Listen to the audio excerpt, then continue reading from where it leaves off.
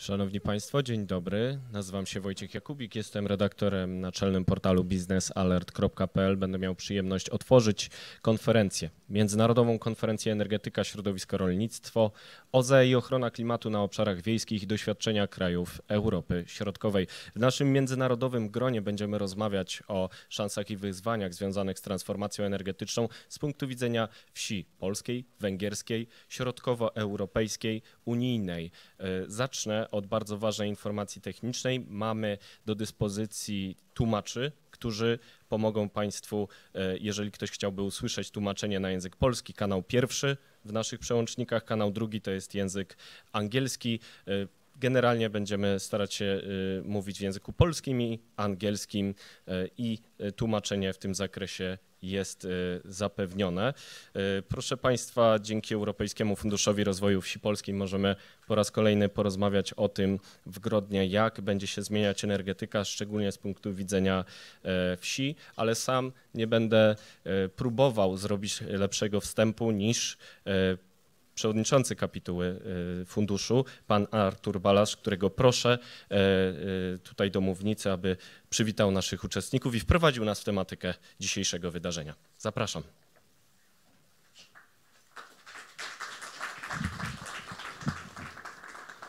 Proszę Państwa, właśnie ta maseczka pokazuje to, z czym ludzkość się zderzyła w ostatnich latach. Zresztą e, konferencja, która miała odbyć się tu w tym miejscu rok temu, nie odbyła się z uwagi na COVID i na to, na spustoszenia, jakie COVID y, powodował i niestety dalej powoduje.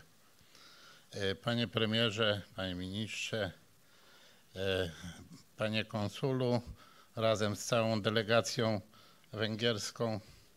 Bardzo miło mi, że Państwo zechcieli przyjąć zaproszenie na tą konferencję dzisiaj e, w Grodnie. Konferencja dotyczy klimatu i odnawialnych źródeł energii i chyba trzeba powiedzieć, że to jest najważniejsza dziedzina, która dotyczy nie tylko Polski, nie tylko Europy, ale ludzkości i całego świata i jak nad tym mocno się nie pochylimy, to grozi nam katastrofa klimatyczna.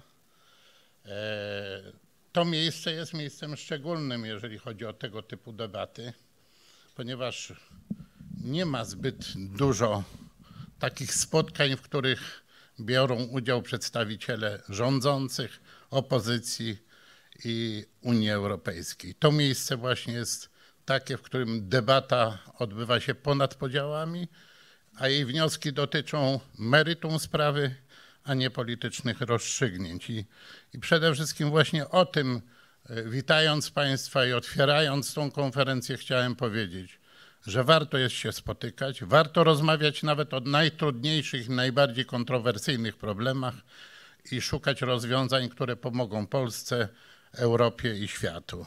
I mam nadzieję, że ta debata dzisiejsza właśnie w takie miejsce nam, nas doprowadzi, w miejsce, w którym będziemy mogli proponować rządzącym, bo to jednak mimo wszystko od nich to zależy, te rozwiązania najlepsze. Bardzo też y, dziękuję mediom, które dzisiaj bardzo licznie się zjawiły. Zjawiła się telewizja publiczna, jest i TVN. To też po pokazuje, że w ważnych sprawach możemy wspólnie rozmawiać i nikomu nie przeszkadzają różnice poglądów. Proszę Państwa, jeszcze raz bardzo serdecznie Państwa witam. Bardzo się cieszę, że jesteśmy dzisiaj razem i liczę, że ta konferencja będzie ważnym miejscem i przyczynkiem do dalszych debat dotyczących klimatu, ochrony środowiska, odnawialnych źródeł energii, a więc przyszłości Polski i świata. Dziękuję bardzo. Wielkie brawa do, dla pana przewodniczącego. Sam przyłączam się y, do słów o mediach, o debacie. Potrzebujemy tej debaty, ponieważ żarty się skończyły polityka klimatyczna przyspiesza, y, to może być szansa, ale jeżeli ją przeoczymy, może być też bardzo dużym wyzwaniem, więc o tym będziemy dzisiaj cały dzień rozmawiać. Poprosiłbym pana prezesa Krzysztofa Podhajskiego z funduszu o y, kilka słów wprowadzenia w program naszego wydarzenia.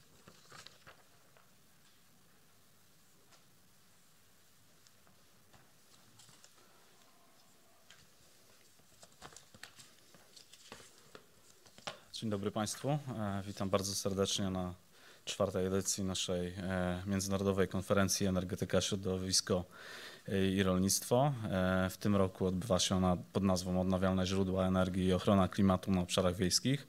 Doświadczenia krajów Europy Środkowej. Przypomnę, że organizatorami dzisiejszego wydarzenia są Europejski Fundusz Rozwoju Wsi Polskiej, Konsulat Generalny Węgier w Gdańsku i spółka AgroPromotion. Chciałbym bardzo serdecznie przywitać e, na dzisiejszym wydarzeniu e, ministra rolnictwa i rozwoju wsi pana Grzegorza Pudę.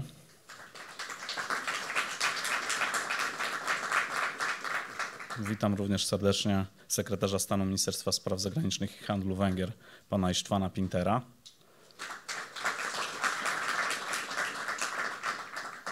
Witam również e, posła do Parlamentu Europejskiego, przewodniczącego Rady Programowej naszej fundacji, byłego premiera, pana Jerzego Buzka. Chciałbym również przywitać posła na Sejm, byłego ministra cyfryzacji, byłego prezesa Europejskiego Funduszu Rozwoju Polskiej, pana Marka Zagórskiego. Witam również serdecznie członka zarządu województwa zachodniopomorskiego, pana Stanisława Wziątka. Swoją obecnością zaszczycił nas również główny inspektor ochrony roślin i nasiennictwa pan Andrzej Chodkowski. Witam również konsuli generalnych Węgier w Polsce, pana Pala Atile Ilesza i pana Otto Siposza. E, w naszej konferencji bierze również udział dzisiaj atasze do spraw rolnictwa i środowiska ambasady Węgier w Polsce, pan Iszwan Janczo. Witam serdecznie. Chciałbym również przywitać e, zastępcę prezesa Zarządu Narodowego Funduszu Ochrony Środowiska i Gospodarki Wodnej, pana Artura Michalskiego. E, witam również serdecznie e, dyrektor generalną Krajowego Ośrodka Wsparcia Rolnictwa, panią Małgorzatę Gośniowską-Kole oraz zastępców pana Krzysztofa Deca i pana Michała Wiśniewskiego i przedstawicieli terenowego e, oddziału e, KOWRY, czyli panią dyrektor Agnieszkę Śpiewak i pana dyrektora Jarosława Staszaka. Chciałbym również poinformować Państwa i podziękować za wsparcie e, Krajowemu Ośrodkowi Wsparcia Rolnictwa i złożyć te podziękowania na ręce Pani Dyrektor za wsparcie merytoryczne i finansowe dzisiejszego naszego przedsięwzięcia. E, witam również serdecznie zastępcę prezesa Agencji Restrukturyzacji i Modernizacji Rolnictwa panią Renatę Mantur oraz dyrektora zachodniopomorskiego oddziału, dyrektor zachodniopomorskiego oddziału regionalnego panią Magdalenę Jackiewicz. Chciałbym również przywitać e, przedstawiciela e, Wolińskiego Parku Narodowego wraz z współpracownikami, zastępcę dyrektora do spraw ochrony przyrody, pana Marcina Głogozę. Przy tej okazji chciałem bardzo serdecznie podziękować za wsparcie przy organizacji e, dzisiejszego wydarzenia. E, chciałbym również powitać, ale nie wiem, czy widzę na sali pana e, Wiktora Szmulewicza, prezesa Krajowej Izby, Krajowej Rady Izb Rolniczych. Chciałbym również przywitać prezesa zarządu Lotos Paliwa, pana Wojciecha Wajsa. Witam również serdecznie przedstawicieli lokalnych samorządów, starostów, burmistrzów, e, prezesów i dyrektorów oraz wszystkich przedstawicieli państwowych instytucji i podmiotów prywatnych, którzy zaszczycili nas swoją obecnością. E, witam również ekspertów i rolników z Polski i Węgier, e, dla których ważna jest tematyka na styku energetyki, środowiska i rolnictwa. Oczywiście witam bardzo serdecznie wszystkich prelegentów, oraz e, przedstawicieli mediów. Przypomnę, że patronami medialnymi naszej konferencji są Tygodnik Poradnik Rolniczy, Top Agrar, Business Alert, Energetyka24 i cire.pl. Dziękuję serdecznie za wszystkim Państwu za przybycie i życzę udanej konferencji. Dziękuję bardzo.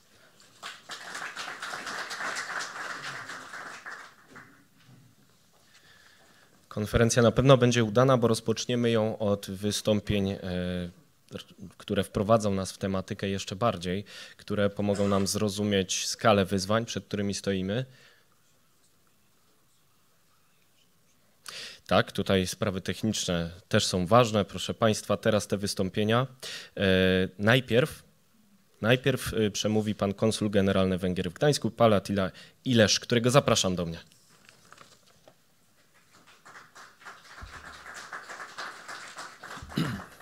Dziękuję bardzo, Szanowni Państwo. Ja naprawdę tylko kilka słów chciałbym teraz powiedzieć jako wprowadzenie do dzisiejszego spotkania. W sumie o genezie naszej konferencji. Współpraca z funduszem, współpraca centrum już sięga długie lata, ale to jest poprzednie życie tak zwane. Dzisiejsze życie to jest to, że pod koniec tamtego roku rząd Węgier zdecydował utworzyć konsulat generalny dla północnego regionu Polski, czyli dla województwa zachodniopomorskiego, pomorskiego, warmińsko-mazurskiego, bo ten region się rozwija w ten sposób, że nasza obecność tutaj jest uzasadniona. To jest pierwsza geneza, a druga geneza jest to, jak wchodzimy do tej sali, tutaj w auli widzimy duży, dużą planszę, tak zwany roll-up, na którym pisze, że Planet Budapeszt 2021. To jest właśnie duża geneza, to jest duża konferencja organizowana w Budapeszcie teraz w lutym i grudniu o zrównoważonym rozwoju.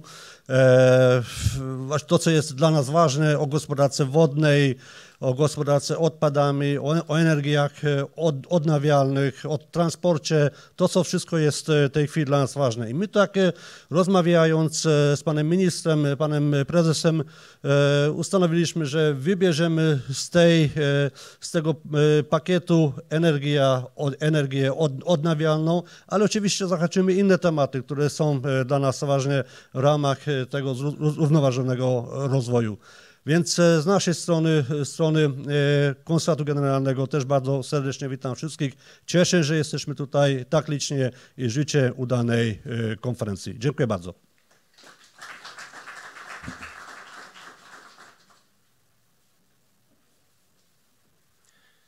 Dziękujemy panu konsulowi, dziękujemy naszym przyjaciołom z Węgier, że wezmą udział aktywny w debacie dotyczącej Europy Środkowo-Wschodniej, która nie mogłaby się oczywiście odbyć bez przedstawicieli Polski i Węgier, krajów, które znajdują się w tym regionie i transformacja energetyczna będzie miała wielkie znaczenie dla ich przyszłości, tak samo jak dla całego regionu. Teraz chciałem zapowiedzieć wystąpienie ministra rolnictwa Węgier, Istvana Nać, który będzie przemawiał po węgiersku, którego nagranie zaraz usłyszymy. Zapraszam tych z Państwa, którzy jeszcze nie znają pięknego języka węgierskiego, o skorzystanie z tłumacza. Każdy ma dostęp do, do możliwości technicznych, które pozwolą wysłuchać kilku słów wprowadzenia pana ministra. A zatem pan minister rolnictwa Węgier, pan Istvan Nać.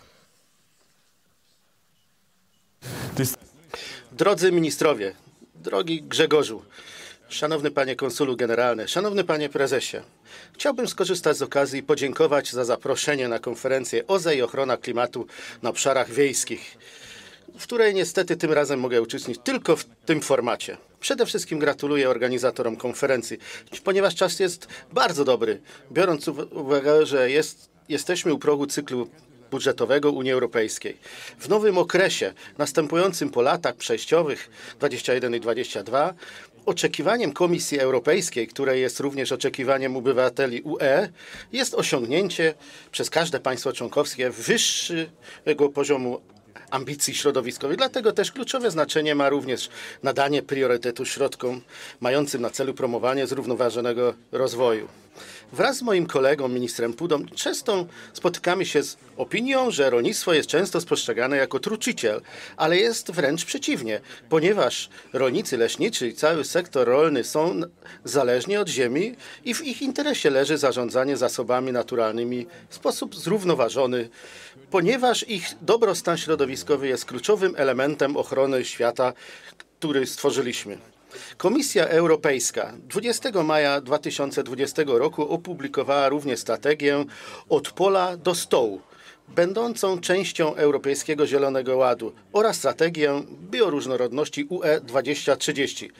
Podczas gdy strategia od pola do stołu ma na celu zapewnienie przejścia rolnictwa UE na zrównoważoną produkcję i żywności i jej wprowadzenie do obrotu, głównym celem strategii różnorodności biologicznej jest przywrócenie znacznej części zdegradowanych ekosystemów lądowych i morskich. W związku z celami określonymi w strategiach Komisja skierowała do państw członkowskich zalecenia, które powinny zostać uwzględnione w planowaniu strategicznym.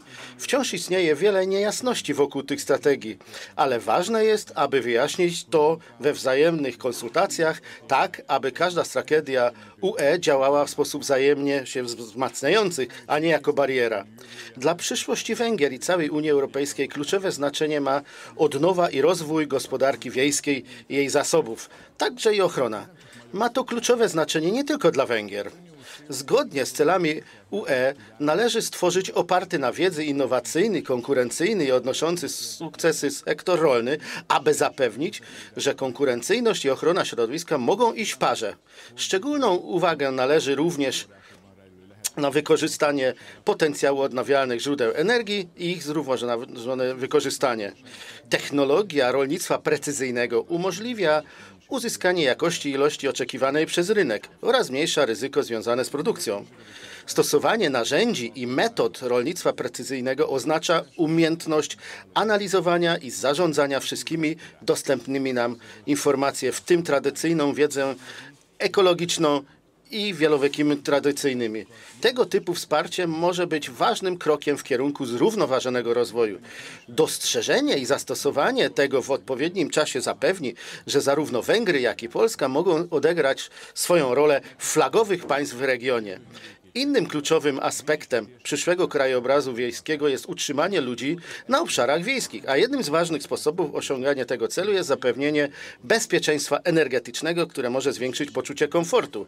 Wsparcie dla małych elektrowni na biomasę, modernizacja energetyczna budynków prywatnych i publicznych oraz przyjazne dla środowiska zaopatrzenie gospodarstw rolnych w wodę i energię elektryczną były ważnymi podkreślanymi elementami węgierskiego programu rozwoju obszarów wiejskich na lata 14-20.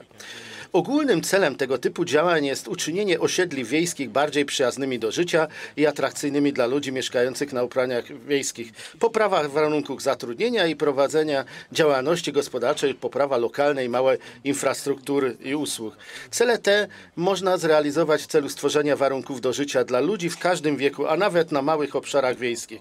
Proszę mi pozwolić skorzystać z okazji, aby potwierdzić nasze serdeczne zaproszenie dla wszystkich zainteresowanych stron na krajową wystawę wystawę rolnictwa i żywności, która odbędzie się w Budapeszcie w dniu 7 października bieżącego roku, która jest pod wieloma względami powiązana z rolno-spożywczymi aspektami tej konferencji.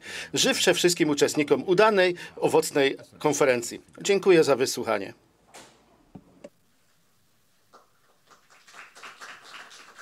Tak jest. Wielkie brawa dla pana ministra, który e, przekazał kilka słów do uczestników konferencji. Nie mogło też zabraknąć polskiego e, ministra rolnictwa, którego niniejszym e, zapraszam do mównicy, pana Grzegorza Pudę. Panie ministrze.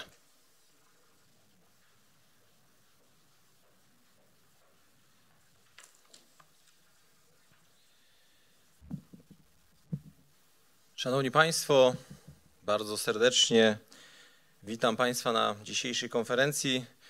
Muszę powiedzieć, że jest mi niezmiernie miło, że mogę wziąć osobiście udział tutaj e, w debacie na temat odnawialnych źródeł energii i ochrony klimatu na obszarach wiejskich. Witam bardzo serdecznie wszystkich zaproszonych gości i oczywiście bardzo serdecznie dziękuję za zaangażowanie pana ministra Węgier Isztwana Nadrziego, z którym mam przyjemność, dużą przyjemność, mogę to potwierdzić, wspólnie E, występować na naszych radach AgriFish podczas spotkań Rady Ministrów Europejskich, czy w Brukseli, czy w Luksemburgu. To bardzo duży zaszczyt móc z panem ministrem wspólnie dyskutować na temat aktualnych problemów, zarówno na Węgrzech, jak i w Polsce. Problemów oczywiście związanych z polskim i węgierskim rolnictwem. Oczywiście, Szanowni Państwo, rolnictwo jest akurat takim obszarem, w którym mm, wiele zależy od pogody, wiele zależy od czynników atmosferycznych. E, w związku z tym możemy powiedzieć, że rolnictwo w dużej części uzależnione jest od tego, e, w jakim stopniu wykorzystujemy również potencjał właśnie energii, która jest nam dostarczana czy przez wiatr, czy przez słońce, czy w inny sposób. Ale z drugiej strony trzeba tu też podkreślić, że jednocześnie rolnictwo w niewielkim wręcz można powiedzieć bardzo znikomym stopniu emituje gazy cieplarniane. To jest jak gdyby nawiązanie do tego, co mówił pan minister Węgier. Akurat tak się składa, że i Polska, i Węgry są tymi krajami, w których tej emisji jest y, najmniej w Europie. Jesteśmy jednym z krajów, w którym emisja jest, emisja jest mocno e, ograniczona. W przypadku Polski jest to e, około 2,1 tony ekwiwalentu CO2 e, na hektar, a na Węgrzech niecałe 1,4 tego ekwiwalentu. To powoduje, że takie niezrównoważone rolnictwo, które jest oparte na przemysłowych metodach produkcji, bardzo często doprowadza czy powoduje do y, znaczących zwiększeń tych emisji. I tutaj warto podkreślić, że w krajach Unii Europejskiej, na, mm, w których postawiły na takie rolnictwo, w których tak się dzieje, ta emisja wynosi nawet ponad 10 ton na każdy hektar, czyli w naszym przypadku pięciokrotnie więcej, w przypadku Węgier to jest powiedzmy siedmiokrotnie więcej niż to, e, jak wygląda ta sytuacja w naszych krajach. Zielony Ład przede wszystkim niesie ze sobą szereg wyzwań związanych z ochroną środowiska i klimatu e, i zachęcających rolników do włączenia się w ograniczenie zmian klimatycznych. Tutaj warto dodać, że rolnictwo to rolnictwo, które jest również w Polsce, czyli rolnictwo zrównoważone, może być beneficjentem, może wykorzystywać e, te podejmowane przez Unię Europejską, Unię Europejską działania klimatyczne, ale z drugiej strony proszę pamiętać, że bez rozważnych działań, e, bez dialogu, bez rozmów, mogą one w przyszłości mieć również wpływ na pogorszenie konkurencyjności produkcji rolnej czy konkurencyjności samego przetwórstwa rolno-spożywczego. Koncentracja przetwórstwa, koncentracja, mm, ogólnie koncentracja pociąga za sobą koncentrację E, wielu innych obszarach i wymusza stosowanie coraz mniej przyjaznych środowisku technologii, produkcja jednocześnie z drugiej strony, warto to podkreślić, zwiększa zapotrzebowanie na transport.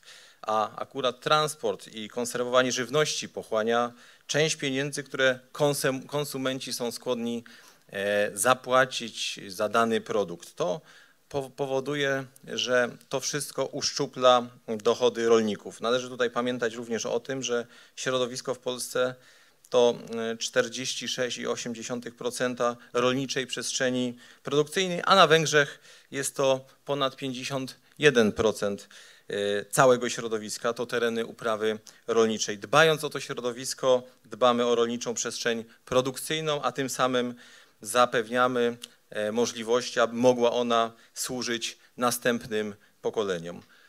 Trudno będzie również sprostać nowym wyzwaniom bez odpowiedniej wiedzy i znajomości celu. Tym celem w tej chwili jest oczywiście plan strategiczny.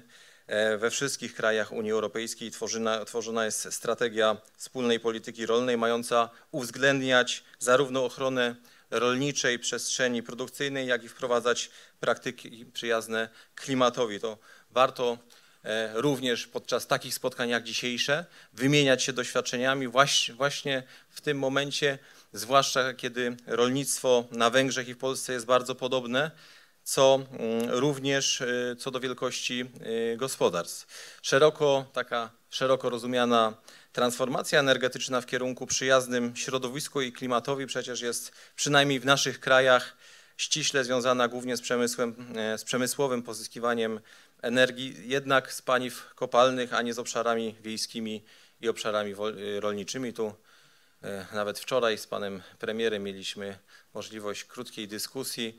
Pamiętam, jak jeszcze jako minister w poprzednim Ministerstwie Funduszy e, wspólnie i tutaj, tak jak pan minister Balasz powiedział, ponad podziałami zachęcaliśmy w Unii Europejskiej wszystkich do tego, aby wspierali rozwiązania mogące służyć wszystkim Polakom, wówczas wszystkim Polakom, walczyliśmy o to, aby z tego co pamiętam, abyśmy mogli e, przesyłać gaz wraz z środkami europejskimi, znaczy dzięki środkom europejskim, żeby można było doprowadzić do niższych kosztów dystrybucji tego paliwa. I to pokazuje, że tak naprawdę tego typu wydarzenia, czyli taka dyskusja E, z ludzi różnych środowisk, ale którym leży na sercu Polska, jest bardzo potrzebna i powinniśmy to jak najczęściej czynić.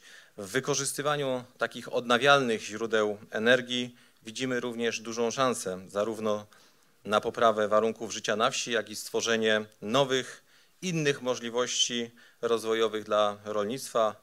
Przede wszystkim rolnictwo to przecież działalność w zakresie uprawy roślin i chowu zwierząt dla, prowadzona w celu wytworzenia żywności, czyli w celu tego zabezpieczenia, e, prowadzenia wprowadzania bezpieczeństwa żywnościowego w każdym z krajów, ale również uwzględniające takie racjonalne wykorzystywanie tych wszystkich zasobów naturalnych, które mamy, czy mówię tutaj również o dobrostanie zwierząt, czy bezpieczeństwie ludzi oraz dziedzictwie i rozwoju e, obszarów wiejskich. Z punktu widzenia rolniczego, z rolniczego punktu widzenia najważniejsze są te technologiczne, te technologie OZE, które oprócz produkcji energii. Oprócz tego, że będziemy wytwarzać produkcję z odpadów rolniczych, mogą bezpośrednio wspierać rolnictwo w realizacji celów klimatycznych i środowiskowych. Tutaj to bardzo istotne i dlatego stąd szczególny nacisk, szczególną uwagę przywiązujemy do energetyki wodnej i do biogazowni rolniczych, które wciąż są naszym zdaniem niedoceniane i tutaj wielka, wielka droga przed nami wszystkimi, aby umożliwić współfinansowanie, finansowanie oraz zachęty dla wszystkich tych, którzy będą chcieli z tych rozwiązań korzystać. To dzięki właśnie tego typu e, rozwiązaniom, technologiom możemy ograniczać wpływ prowadzonej działalności rolniczej na środowisko, w tym poprawiać jakości z jednej strony gleb, aby móc je przekazywać w stanie jak najmniej naruszonym, czy nienaruszonym następnym pokoleniom, czy, czy jakości wód. Mamy również świadomość tego, że odnawialne źródła energii nie zastąpią energetyki systemowej. Jeszcze nie zastąpią. Być może kiedyś będzie taki moment, a jeżeli dojdzie, to musimy to robić w taki sposób, aby e, przechodziło to jak najbardziej płynnie z tej energetyki konwekcjonalnej, dużej na tą bardziej związaną z odnawianymi źródłami energii. To też rola oczywiście również ministra rolnictwa, ale myślę, że i całego rządu i wszystkich tych, którzy, którym na sercu leży właśnie dobro e, każdego kraju, u nas dobro Polski, aby przeprowadzać to e, jak najłagodniej, aby te koszty społeczne były jak najmniejsze. I dlatego od lat nasz resort, resort rolnictwa kładzie duży nacisk na rozwiązania, które umożliwia, umożliwiałyby taki zrównoważony rozwój rozproszonej energetyki e, w, na, w skali naszego całego kraju. Uważamy, że lokalne wytwarzanie energii na własne potrzeby to bardzo dobry kierunek rozwoju, to również dobry kierunek nie tylko dla samych gospodarstw, ale również dla całej infrastruktury energetycznej w naszym kraju, aby wykorzystywać mm, wszystkie istniejące lokalnie zasoby e, OZE, czy tam na przykład odpady z produkcji rolnej, przetwórstwa rolno-spożywczego i handlu żywnością, czy wykorzystywać potencjał e, wiatru, wody, słońca, E, a nawet w niektórych przypadków, tam gdzie to jest możliwe, oczywiście geotermii. I w ten sposób możemy, Szanowni Państwo, realizować cele związane z udziałem energii odnawialnej w bilansie energetycznym. Ta energia odnawialna, przyjazna środowisku, czy bardziej przyjazna środowisku, to energia produkowana z kilku rodzajów zasoby, zasobów, które z jednej strony nie są znacząco uszczuplone przez ich użytkowanie, z drugiej strony, których stosowanie nie powoduje emisji zanieczyszczeń do środowiska czy innych szkodliwych substancji. No i jeszcze ważny jest ten trzeci element, których stosowanie nie wiąże się z istotnymi zagrożeniami dla zdrowia czy obrony, ochrony krajobrazu albo powodujących jakikolwiek konflikt na przykład z innymi celami, e, na przykład tymi celami z traktatu o funkcjonowaniu Unii Europejskiej. Nasz rząd, polski rząd, a w szczególności nasz resort, czyli resort rolnictwa, który mam zaszczyt w tej chwili prowadzić, szczegółowo analizuje wszystkie aspekty związane z produkcją biogazu rolniczego e, i wspiera wszystkie działania w tym zakresie, które można połączyć zarówno z celami wspólnej polityki rolnej, ale i bezpieczeństwa żywnościowego oraz dążenia do neutralności energetycznej. W nowej perspektywie finansowej, podobnie jak dotychczas, Chcemy, aby inwestycje OZE wspierane były, były e, ze środków polityki spójności, e, a uzupełnieniem tego wsparcia będą środki w ramach planu strategicznego wspólnej polityki rolnej oraz środki krajowe. Tutaj ważne jeszcze, aby może to wybrzmiało, aby dodatkowym źródłem finansowania inwestycji w energetykę odnawialną był również rządowy program, rządowy Fundusz Polski Ład, czyli program inwestycji e, strategicznych. Szanowni Państwo, Zrównoważony rozwój odnawialnych źródeł energii w Polsce z pewnością zapewnia, mm, zapewnienia, zapewni, za, wymaga zapewnienia rzetelnej i obiektywnej wiedzy na temat poszczególnych technologii, a przede wszystkim ich wpływu na zasoby, na zasoby produkcyjne, na zasoby zrównoważenia e, samego rolnictwa i przede wszystkim na to, o czym mówimy, czyli wpływu na klimat, który bez wątpienia należy chronić, to myślę jest bezdyskusyjne.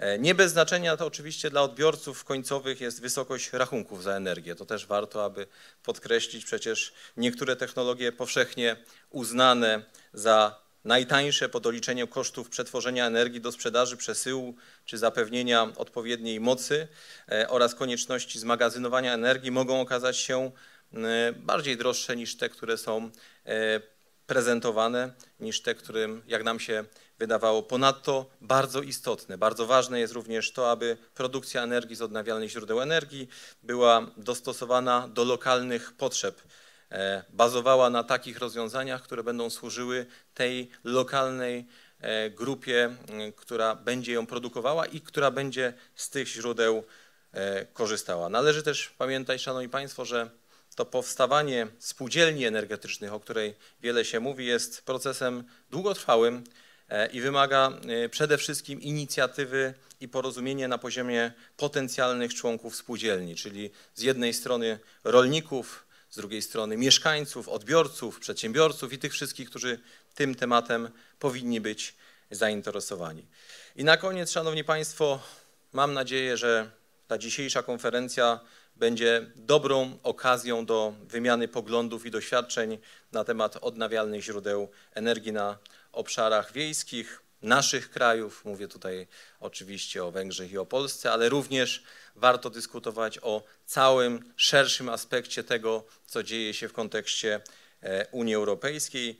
Nasze podobieństwa akurat, jeżeli chodzi o nasze kraje, w naszych jest, e, o nasze kraje, jest dobrym gruntem do tego, aby rozpocząć dyskusję, w której nie powinniśmy zapominać właśnie o gruncie, w tym gruncie, który, e, o który dba rolnik, czyli e, gruncie przeznaczonym do produkcji rolnictwa, a minister rolnictwa ma rolnikom w tym z pewnością pomagać. Życzę Państwu owocnych debat, konstruktywnych wniosków i tego, aby tego typu spotkania odbywały się i tu, E, i w całej Polsce, i na Węgrzech, i w całej Europie jak najczęściej. Wszystkiego dobrego. Dziękuję bardzo.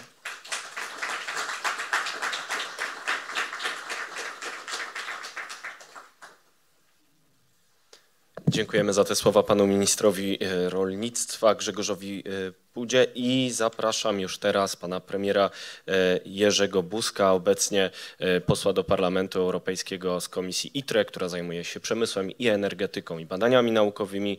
No nie ma lepszego adresu do zadania pytania o to, jak żyć w czasie transformacji energetycznej. Panie premierze, zapraszam.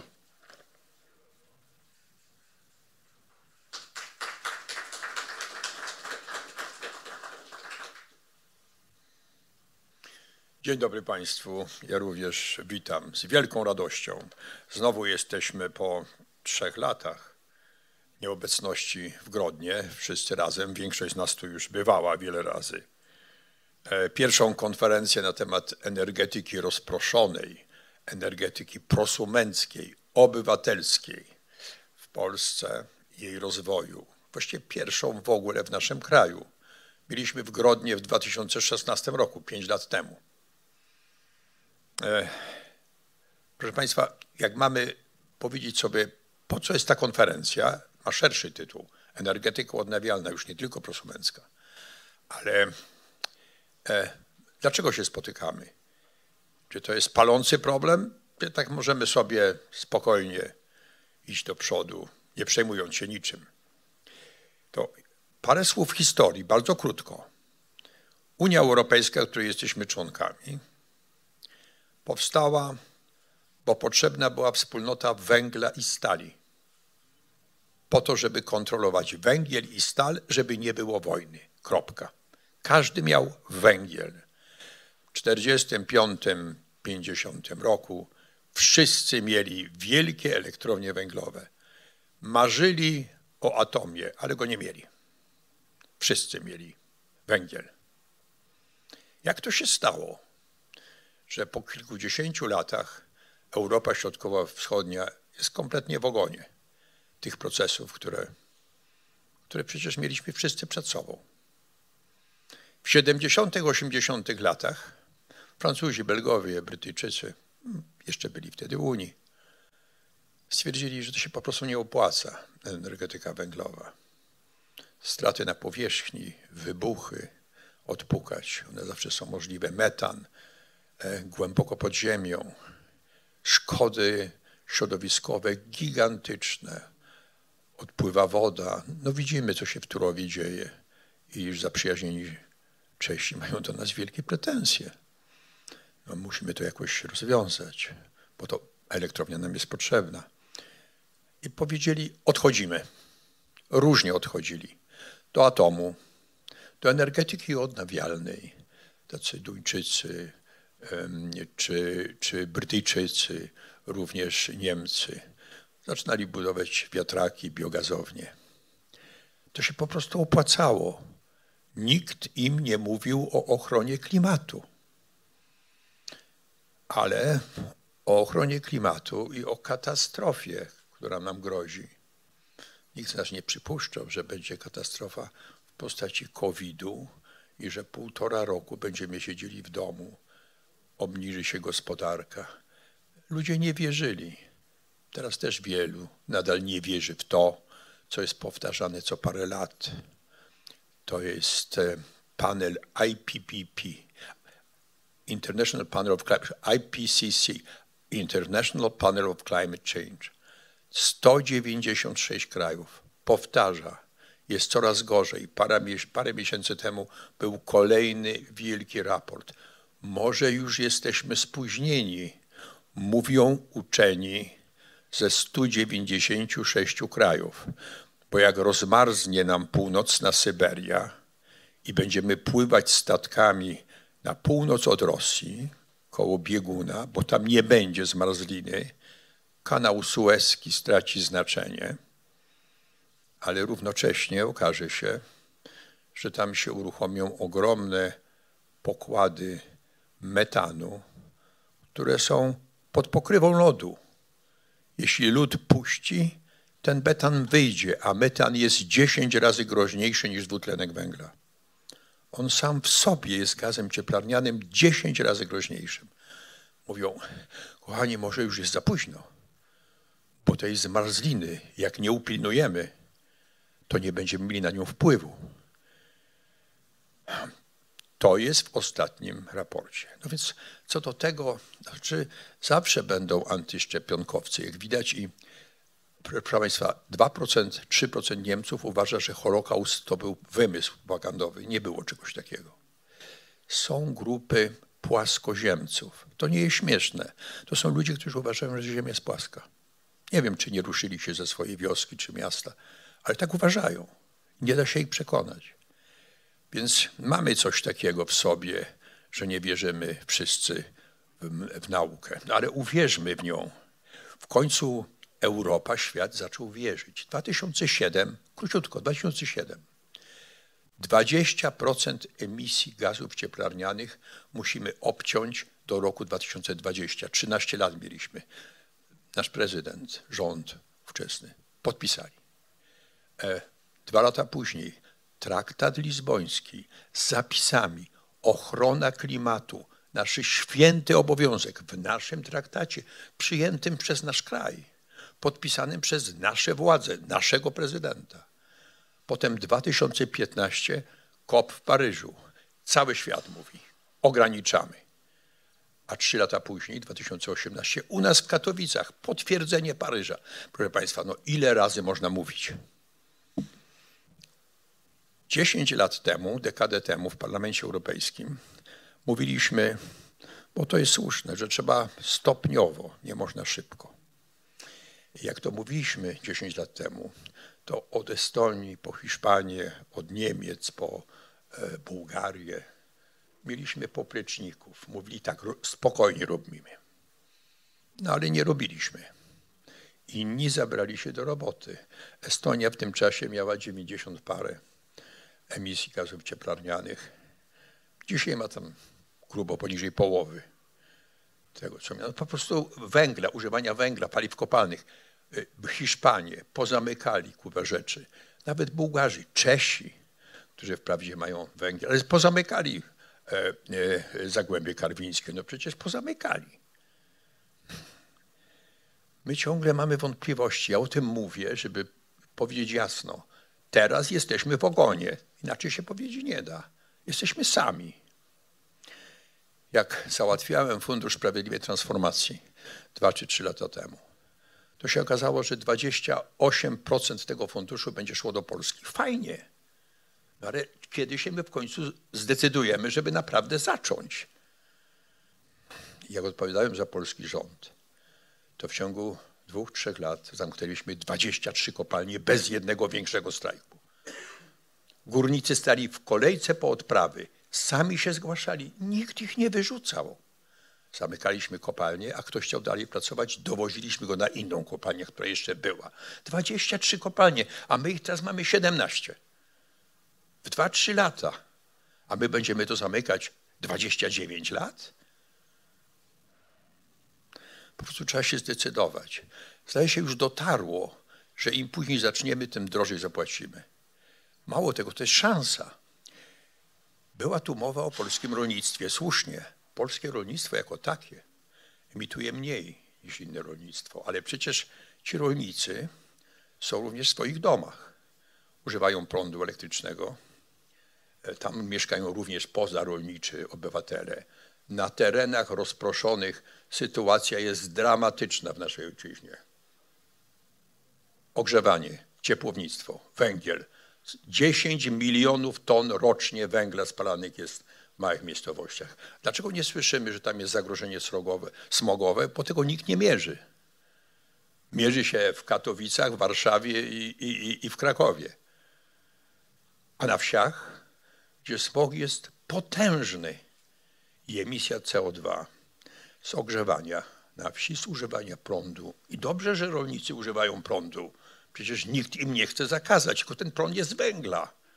Nierozliczany na wsi, nierozliczany na terenach e, rozproszonych, tylko rozliczany w Bełchatowie albo, albo w Jaworznie. No i wiadomo, że to jest najgorsza sytuacja w, w Unii Europejskiej.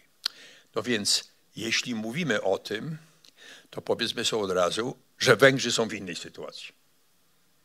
Zareagowali. Właśnie w, tych, w ciągu tych 10 lat to widzę. No już nie mają pistoletu dostawionego do skroni. Jeśli chodzi o na przykład Fundusz Sprawiedliwej Transformacji, to bardzo mało dostają. Mogą, mogą marudzić, no ale wykonali robotę. Oczywiście nie do końca. To nie jest tak, że Węgrzy są super. Nie chcę tego powiedzieć. Ja porównuję z naszym krajem. Więc jesteśmy bardzo opóźnieni. Takie drobiazgi jak ustawa odległościowa, czy spóźnienie z energetyką prosumencką w naszym kraju, to dużo kosztuje. A ludzie już u nas dojrzewają. Trzeba mieć tego świadomość. Dlatego zaczęliśmy od energetyki prosumenckiej, już kończę, bo ja rozumiem, że to e, e, od prosumenckiej bo żeby rozwiązać ten problem zużycia dużej ilości energii przez nasze tereny rozproszone, to prosumencka jest najlepsza. Bo na dużym hotelu, jeśli na dachu tam porobimy fotowoltaikę, to najwyżej dostarczymy prądu do trzech pokoi na górnym piętrze, a wszystkie inne pokoje będą brały energię z węgla. A inaczej jest na terenach rozproszonych. Każda, każdy budynek, każde gospodarstwo zrobi sobie swoją fotowoltaikę, można do tego dodać oczywiście e, pompę ciepła i tak dalej indywidualnie. U nas jest boom, jest szał, nie można nawet zamówić tej fotowoltaiki, bo jest kolejka. No, musimy to wziąć. A pieniądze europejskie są. Są od 10 czy od 12 lat. System handlu emisjami, na który słyszę narzekania. Pieniądze z tego systemu, bo się kupuje emisje, całe komplecie 100% lądują w polskim budżecie. Dlaczego polski budżet nie wydawał tych pieniędzy na transformację energetyczną? No to jest pytanie. Dlatego mówię o straszliwym zapóźnieniu. I dlatego już nie ma wyjścia. Trzeba to zrobić, jeśli to zrobimy teraz, dzisiaj, zaczniemy ostro działać, to na pewno będzie taniej niż jak się zreflektujemy za 3 lata albo za 5. A poza tym jestem dobrej myśli, bo skoro innym się udało nawet bez pieniędzy europejskich e, zrobić e, transformację energetyki, w rolnictwie samym jako takim będą mieli więcej roboty niż my. Ale się nie uspokajmy, uspokajajmy. Idźmy również w rolnictwie do przodu. Od pola do stołu, było to już mówione. To są, to są świetne projekty, róbmy to, bo nie jesteśmy najgorsi. Ale przecież rolnictwo to nie jest same wytwarzanie żywności, to jest jeszcze 75% energetyki, jak we wszystkich, jak w transporcie, jak w budownictwie jak w przemyśle. A więc rozumiem, to zależy będzie od naszego moderatora w dużym stopniu, że, że to ma być treścią naszego spotkania. Uważam, że to jest super temat, żeby sobie jasno powiedzieć, uśmiechnąć się i powiedzieć, damy radę, zwyciężymy w tym, bo innym też się udało, a nie mieli pieniędzy europejskich. Kochani, teraz na to jest 30 parę procent tych strasznych, ogromnych pieniędzy. Dwa i pół raza więcej pieniędzy Polska może dostać w jednym roku niż brała dotąd. Nie o 20% więcej, nie o pi, dwa i pół raza. Co nieprawdopodobnie, dwa i pół raza więcej rocznie. Rocznie możemy brać przez 4 lata, nie przez 7, czy przez 4 lata. To są przecież straszne pieniądze. A 30 parę procent, 38 różnie w różnych programach trzeba wydać na zazielenienie ogólnie. Aż tyle pieniędzy, to są dziesiątki miliardów. Na co je wydamy? Ja uważam, że energetyka prosumencka to jest super rozwiązanie. Dlatego zaczęliśmy 5 lat temu. Dziękuję bardzo. Wszystkiego dobrego.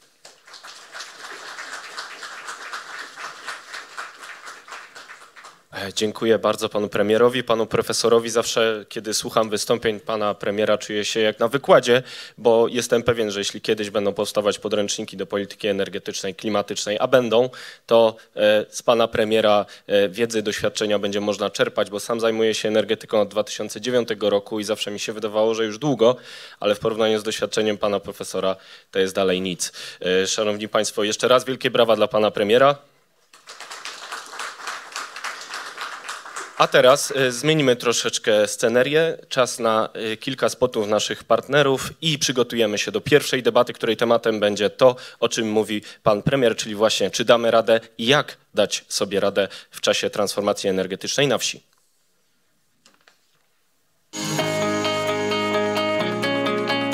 Boleszyn to niewielka miejscowość położona przy granicy województwa warmińsko-mazurskiego i kujawsko-pomorskiego. Mimo swoich niewielkich rozmiarów, to właśnie w tej wsi znajduje się jedno z trzech największych gospodarstw rolnych w gminie Grodziczno. Oprócz hodowli trzody chlewnej funkcjonuje w nim nowoczesna biogazownia rolnicza, która zaopatruje w ciepło około 250 domów, dwie szkoły oraz dwa kościoły, a także innowacyjną betoniarnię. Emitowane zapachy z produkcji trzody chlewnej to właściwie był główny powód, e, żeby zutylizować gnojowicę, która powstaje przy produkcji. My swoim istnieniem przez 9 lat e, udowodniliśmy, że ta instalacja nie jest w żaden sposób uciążliwa. Tego typu instalacje mogą współistnieć w społeczeństwie i mogą przynosić bardzo duże efekty. Dostarcza biogazownia ciepło do prawie 95% odbiorców.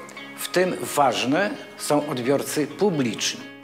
Sąsiedztwo takiej biogazowni, jeżeli jest podłączenie do ogrzewania do domu.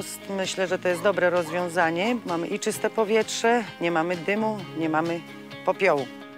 Parafia przede wszystkim korzysta e, z ogrzewania kościoła, a także obiektów e, wszystkich przykościelnych. Jest to e, niesamowita oszczędność w kosztach eksploatacyjnych. Korzyści wynikające z wykorzystania substratu są następujące. Drastyczna redukcja kosztu wynikająca ze stosowania substratu, a nie wykorzystywania nawozów mineralnych, polepszenie e, życia w glebie, no i wyższy plon. Do tej pory nasz zakład w okresie sezonu zimowego zużywał około 70 do 100 ton węgla. Po pierwszym roku, w którym e, użytkujemy i korzystamy z tego ciepłociągu, zużycie węgla było zerowe. Cały film o biogazowni rolniczej w Boleszynie mogą Państwo obejrzeć na stronie www.kowr.gov.pl. Zapraszamy.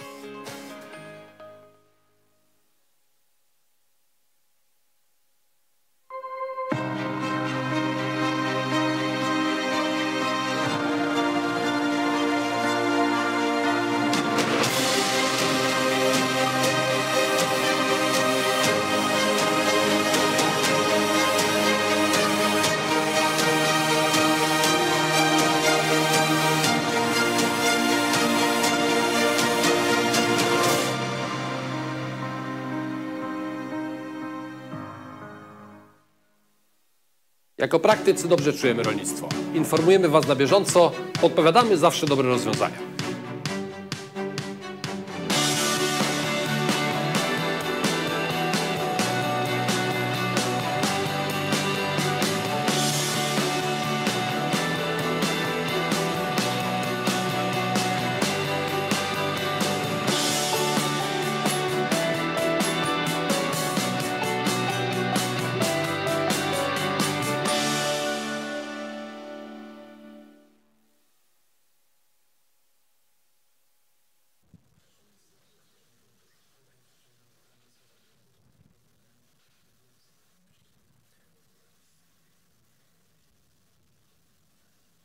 Szanowni Państwo, zaczynamy naszą e, debatę. Za chwilę przedstawię wszystkich e, panelistów i będę ich prosił o zajmowanie miejsc e, w porządku, w którym ja siedzę tutaj, a po mojej prawicy kolejno pan Istvan Kulmany z Instytutu Ekonomiki Rolnictwa Węgier. Zapraszam. Pan Artur Michalski, zastępca prezesa Zarządu Narodowego Funduszu Ochrony Środowiska i Gospodarki Wodnej. Kolejny fotel. Dzień dobry panie prezesie. Attila Nać z Departamentu Polityki Rozwoju w Ministerstwie Rolnictwa Węgier. E, Zapraszamy. Pan profesor Jerzy Buzek, poseł do Parlamentu Europejskiego, członek Komisji Przemysłu Badań Naukowych i Energii Parlamentu Europejskiego oraz przewodniczący Rady Programowej Fundacji, e, która zorganizowała nasze wydarzenie. Pan prezes Henryk Majszak, doktor habilitowany, inżynier, profesor Politechniki Opolskiej, także wiceprzewodniczący naszej rady, kiedyś y, prezes zarządu PSE Operator. Y, Zapraszam do nas. Cześć, jak miło. Wiktor Nać, Departament Polityki Rozwoju w Ministerstwie Rolnictwa Węgier, y, również do nas dołączy. Zapraszam. A także Tomasz Mirowski, ekspert Instytutu Gospodarki Surowcami Mineralnymi i Energią Polskiej Akademii Nauk z Krakowa oraz Instytutu Polityki Energetycznej z Rzeszowa. I zmierza do nas pan y, dr Krzysztof Księżopolski, adiunkt y, Szkoły Głównej Handlowej w Warszawie, specjalista w zakresie bezpieczeństwa energetycznego, autor raportu Fundacji na temat OZE i smogu na obszarach wiejskich. Dzień dobry panie doktorze. Jesteśmy w komplecie, w dużej grupie, bo temat też jest obszerny, przekrojowy i ważny. Temat naszej debaty to doświadczenia krajów Europy Środkowej we wdrażaniu i finansowaniu rozwiązań sprzyjających rozwojowi energetyki obywatelskiej i ochronie powietrza oraz klimatu. Zaczniemy naszą debatę od y, jeszcze głębszego wprowadzenia takiego przekrojowego w to, co dzieje się na wsi polskiej w odniesieniu do rozwoju odnawialnych źródeł energii i nie będzie lepszego y, prelegenta jak naukowiec, a tym naukowcem jest właśnie pan dr Krzysztof y, Księżopolski, który nas wprowadzi w to status quo, które teraz będzie się zmieniać, to o czym mówił też pan profesor. Zmieniamy się, czy zmieniamy się odpowiednio szybko? Jaki jest stan gry na polskiej wsi, jeśli chodzi o odnawialne źródła energii? No i przede wszystkim jak podróż, bo wczoraj naprawdę e, w samolocie strasznie telepało. O, dziękuję Państwu e, i, Panu za to pytanie. E, podróż bardzo dobrze, bo zmieniono samolot, więc... e, e, więc Zobaczymy, jak będzie z powrotem. Zobaczymy, jak, jak, jak, jak będzie z powrotem. Ale ta, ta podróż to jest tak jak z sytuacją na polskiej wsi, prawda? Czyli górki i dołki. Ja chciałem w ogóle podziękować e, zarówno panu, panu, panu premierowi, panu profesorowi Buskowi, jak i panu przewodniczącemu e, Balaszowi. To panowie, wy i, i, i, i cały zespół tutaj zaczęliście ten temat niezwykle istotny i ważny i być może niektórzy wątpili w to, ale przecież dzisiaj widać dokładnie, że to był strzał w dziesiątkę, tak? E, Energetyka odnawialna to jest e, kwintesencja, wydaje mi się, tych zmian, które, które będą zachodzić na polskiej wsi, które e, też będą dawały dodatkowe źródła, źródła dochodów. E, ma- Macie Państwo e, te, te, te raporty, materiały, które były przygotowane dużym wysiłkiem e, fundacji. Ja chcę powiedzieć tak, że takim czynnikiem bardzo mocno wpływającym na, na to, co się, co się dzieje, je- są wysokie ceny energii elektrycznej.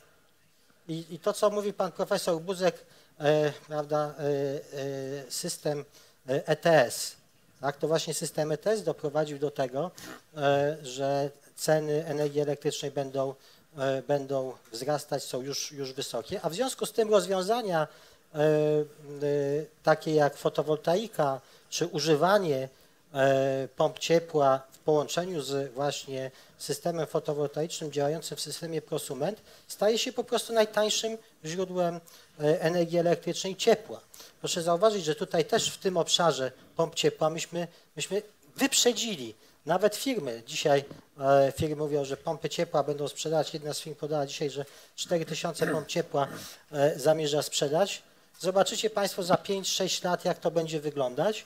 Oczywiście problem jest e, z e, zakładanymi zmianami e, regulacyjnymi, chociaż ja powiem szczerze, ja, ja bardzo wątpię, dlatego że jeżeli byśmy zobaczyli, jak opinia publiczna reaguje na kwestie prosumenta i wytwarzania energii elektrycznej, to, to ponad 80% chce to robić. To jest gigantyczne ryzyko polityczne, aby wprowadzać, wprowadzać zmiany. Właśnie chciałem o to tak. dopytać tak. pokrótce, bo y, mamy wizję wsi Europy Środkowo-Wschodniej, która potrafi być oczywiście dostatnia, ale często jest także biedna i przeciwnicy rozwiązań, o których mówi pan doktor, powiedzą zaraz, pompy ciepła drogie, OZE drogie, nie ma mowy. Co pan powie na to? ja się zapytam, a co jest dzisiaj tanie, tak? Znaczy wszystko jest, że tak powiem, relatywne, tak? Oczywiście musimy wydać pieniądze, czyli te, ta inwestycja CAPEX, prawda, jest wysoki, natomiast potem otrzymujemy, y, otrzymujemy oszczędności. Oczywiście będzie to zależało od tego, czy te domy są termomodernizowane, czy nie są termomodernizowane. Y, I proszę zauważyć, że y, y pan profesor Buzek bardzo o tym dobrze powiedział, no są na to pieniądze, tak? Także przesiądźmy się z tego, prawda, e, przysłowiowego malucha do e, e, samochodu elektrycznego, prawda, nie wiem jak on się będzie nazywał, ale pewnie pan redaktor mi podpowie. Izera. Izera, prawda? I inne. I inne, żeby nie reklamować i idźmy po prostu do przodu. Więc wydaje mi się, że oczywiście będzie problem wykluczenia energetycznego i to jest problem bardzo istotny w Polsce. Natomiast proszę zauważyć, że Tymi sprawami zajmuje się polityka i powinna się zajmować e, polityka społeczna, a nie polityka energetyczna. E, I myśmy to powinni bardzo mocno oddzielić. Te osoby, które mają problemy z płaceniem czynszów, z e, regulowaniem rachunków za prąd, za gaz, za ciepło, one powinny uzyskiwać środki z, w ramach pomocy społecznej, a nie z polityki energetycznej. Tak? I to jest, wydaje mi się, istotne e, rozróżnienie, dlatego że w przeciwnym razie obarczamy polityką energetyczną e, e, takimi czynnikami, które, które powodują, iż staje się ona mało sterowalna. A Też bardziej konserwujemy status quo niż idziemy do tak, przodu. I, I my musimy brać pod uwagę również taką kwestię, że ta energia elektryczna to nie jest tylko energia elektryczna, którą e, my konsumujemy i jest nam drogo lub tanio, albo taką mamy perspektywę, ale to jest również konkurencyjność polskiej gospodarki, która jest no, znacznie mniej efektywna energetycznie niż gospodarki, gospodarki innych państw. I na koniec, jeżeli jeszcze, jeszcze mogę jedno zdanie, to proszę zauważyć, że my za tą transformację energetyczną zapłacimy wszyscy. Tak? To nie jest tak, że ten rachunek jest wystawiany komuś, nie wiadomo komu. Tak? W związku z tym e, bardzo istotne jest, abyśmy mówili o kwestiach transformacji energetycznej opartej na e, energetyce obywatelskiej, żeby to ludzie z tego też korzystali, tak? obywatele. E, I to jest, e, i to jest myślę, klucz tego, tego działania. Jeżeli chodzi o, o, o kwestie, o, o kwestie e, e, wsi, no to, to widać, jak, jak, przerasta, jak przerasta ilość fotowoltaiki na wsi. Jest to bardzo, bardzo dynamiczny rozwój. Jeżeli weźmiemy pod uwagę statystykę z lata, lat poprzednich, czyli 2019, ale już możemy mówić o 2020, ja tutaj bazuję na raporcie BP z e, czerwca, no to, to my jesteśmy, że tak powiem, liderem w Europie. W ogóle Europa Środkowo-Wschodnia jest, jest, jest dużym, e, znaczy jest jak gdyby liderem w tym, w, tym, w tym obszarze transformacji, czyli przyrostów. Tylko pamiętajmy o tym, że procentowo to wygląda bardzo ładnie, natomiast ta baza jest bardzo, bardzo niska. Jeżeli Państwo są zainteresowani, to też proszę sięgnąć do raportu SGH, który był prezentowany w e, Karpaczu. Tam jest część którą przygotowałem ja z moim zespołem dotycząca energetyki w Europie Środkowo, Środkowo-Wschodniej. Polecam tę publikację. Od siebie dodam tyle, że faktycznie argumenty ekonomiczne są w różny sposób używane w tej debacie, ale sam mam rodzinę pod Warszawą, mieszkam w bloku, ale oni mieszkają właśnie w domku. No i też argumenty ekonomiczne przekonały ich właśnie do fotowoltaiki na przykład. To znaczy obniżenie rachunków za energię elektryczną jest e, szybkie i naprawdę odczuwalne, więc e, argumenty ekonomiczne też za tą transformacją e, przemawiają. Oczywiście są wyzwania z tym związane, szczególnie jeśli chodzi o stabilizację odnawialnych źródeł, no ale to się Ale, dzieje, y, prawda? Panie redaktorze, ale jeżeli mogę, to ja wejdę w słowo. Proszę. zauważyć, że 20 do 30% energii wyprodukowanej to jest koszt właśnie tego magazynu. Przecież to jest, to jest duży pieniądz, prawda? To nie jest Tak. tak, że, że to jest za darmo, co ja wyprodukuję, to, to, y, to jest w sieci. Więc jak gdyby ten prosument też płaci, tak? Tak. E, A oczywiście no, pamiętajmy o tym, że e, sieci w ogóle wymagają e, totalnej przebudowy, tak? wielkich nakładów, prawda?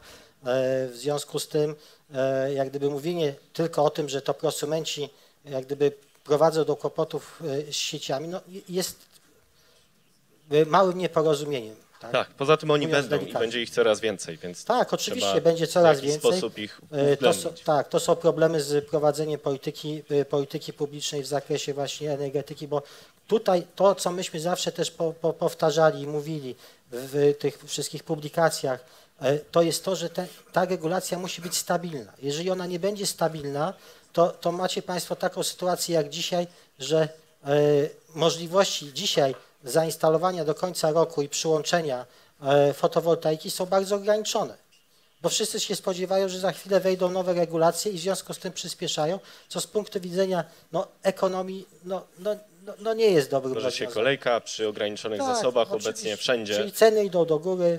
Tak.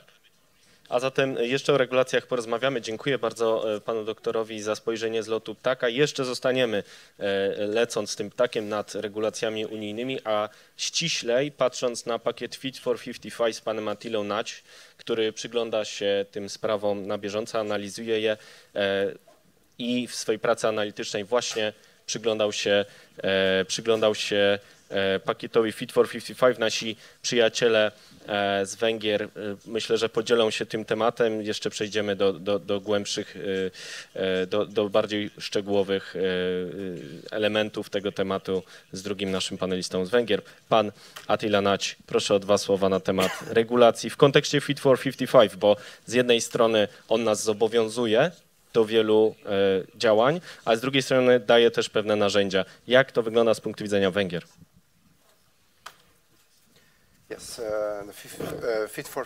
Istotnie e, ten pakiet Fit for 55 jest wyzwaniem tak naprawdę dla wszystkich.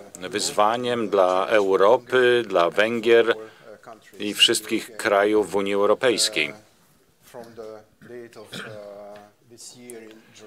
Od czerwca tego roku Komisja Europejska e, opublikowała komunikat dotyczący Fit for 55 i wydaje mi się, że jest to dobry krok w kierunku znalezienia rozwiązań, e, w kierunku tego, co Unia Europejska może zrobić, jeśli chodzi o ochronę środowiska. Oczywiście e, nie dotyczy to wyłącznie rolnictwa. Jest to główny punkt e, tego pakietu Fit for 55. E, Nazwijmy ją sobie strategią, ponieważ jest to część Zielonego Ładu, a Zielony Ład został opublikowany e, jako zbiór dwóch strategii Fit for 55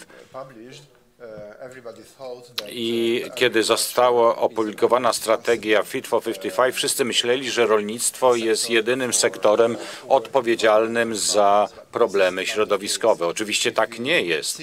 Jeżeli postrzegamy ten komunikat dotyczący Fit for 55, widzimy, że tak naprawdę dotyczy on około 30 aktów prawnych, a jedynie dwa z nich dotyczą rolnictwa.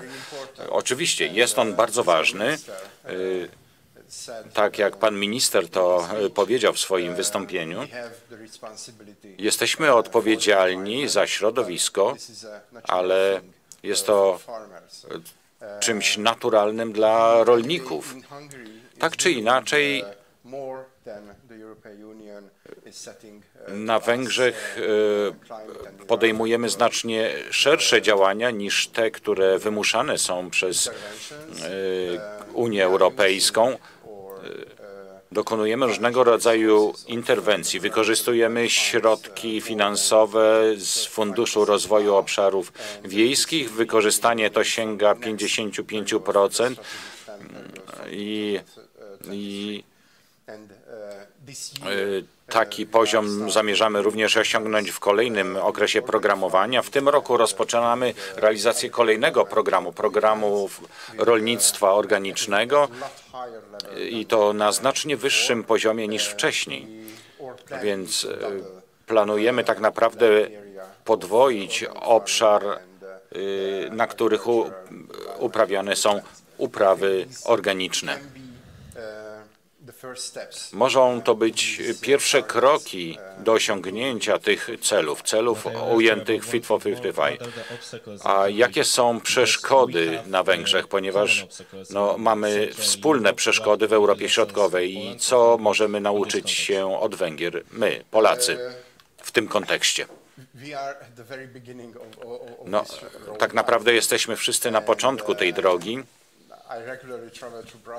Regularnie udaję się do Brukseli i negocjuję te kwestie z Komisją Europejską i innymi państwami członkowskimi i dostrzegam, że tak naprawdę no, nikt nie ma ostatecznego rozwiązania.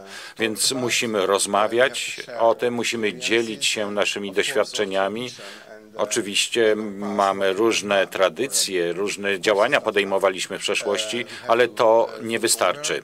Musimy jeszcze raz przemyśleć to wszystko. Musimy być kreatywni w poszukiwaniu rozwiązań nowych sposobów. Czy Polska i Węgry mogą kreatywnie działać wspólnie i walczyć razem? O te kwestie. Zdecydowanie tak. Polska i Węgry mają dobre koneksje y, i w trakcie reformy wspólnej polityki rolnej zawsze uczestniczyłem w negocjacjach i Polska i Węgry przez cały czas działały wspólnie i tą relację rzeczywiście mamy bardzo dobrą. Dziękuję bardzo. Wrócę do języka polskiego, ale będę rozmawiał z naszym e, kolejnym przedstawicielem Ministerstwa e, Rolnictwa, pan Wiktor Nać. Zajmuje się właśnie Fit for 55 w dużej mierze e, i prosiłbym, prosiłbym o przedstawienie Państwa poglądu na to, w jaki sposób przyspieszy zmiany na wsi właśnie ten pakiet.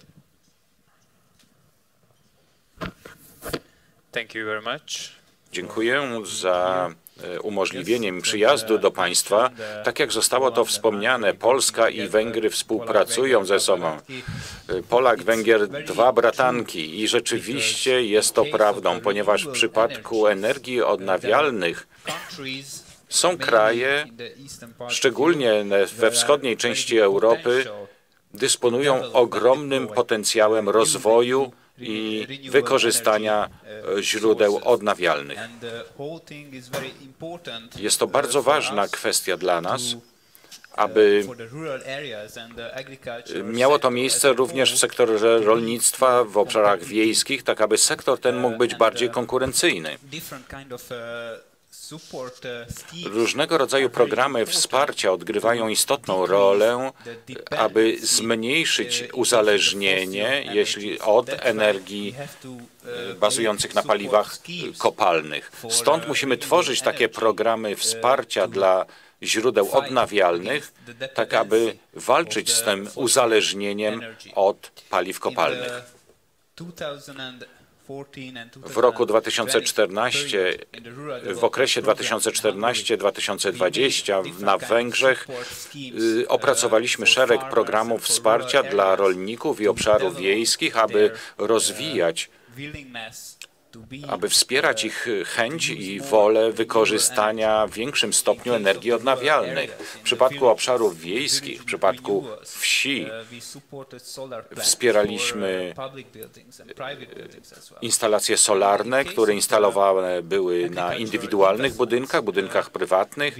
Jeśli chodzi o inwestycje w rolnictwo, ogromny nacisk położyliśmy na to, aby tworzone były holdingi rolnicze i aby rolnicy w większym stopniu wykorzystywali źródła solarne, energię odnawialną generalnie.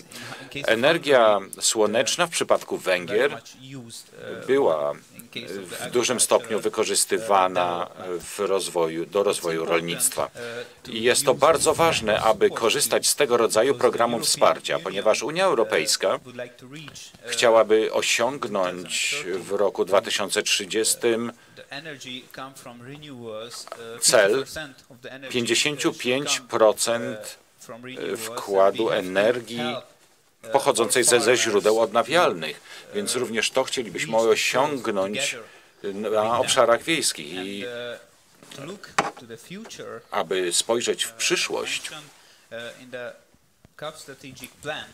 w strategicznym planie do wspólnej polityki rolnej, który będzie kluczowym dokumentem dla rolnictwa i obszarów wiejskich w nowym okresie programowania, musimy dezygnować znaczne środki finansowe na tego rodzaju programy wsparcia. Oczywiście nowe programy, ponieważ no, pojawiają się że tak powiem, nowe wiatry, które należałoby wykorzystać. Biomasa, biogospodarka, gospodarka cyrkularna. Tak więc zaczną one odgrywać większą rolę w przyszłości i możemy kontynuować nasze wsparcie dla energii solarnej na obszarach wiejskich. Dlaczego jest to ważne, aby korzystać z tego rodzaju programów wsparcia i tego rodzaju działań? Jest to istotne, ponieważ musimy obniżyć koszty dla rolników, tak aby rolnicy stali się bardziej konkurencyjni tym samym, aby mogli tworzyć holdingi rolnicze, wykorzystywać tego rodzaju źródła energii właśnie po to, aby osiągnąć większą kon konkurencyjność i osiągać większe zyski. I oczywiście przy okazji jesteśmy w stanie korzystać z punktu widzenia środowiska.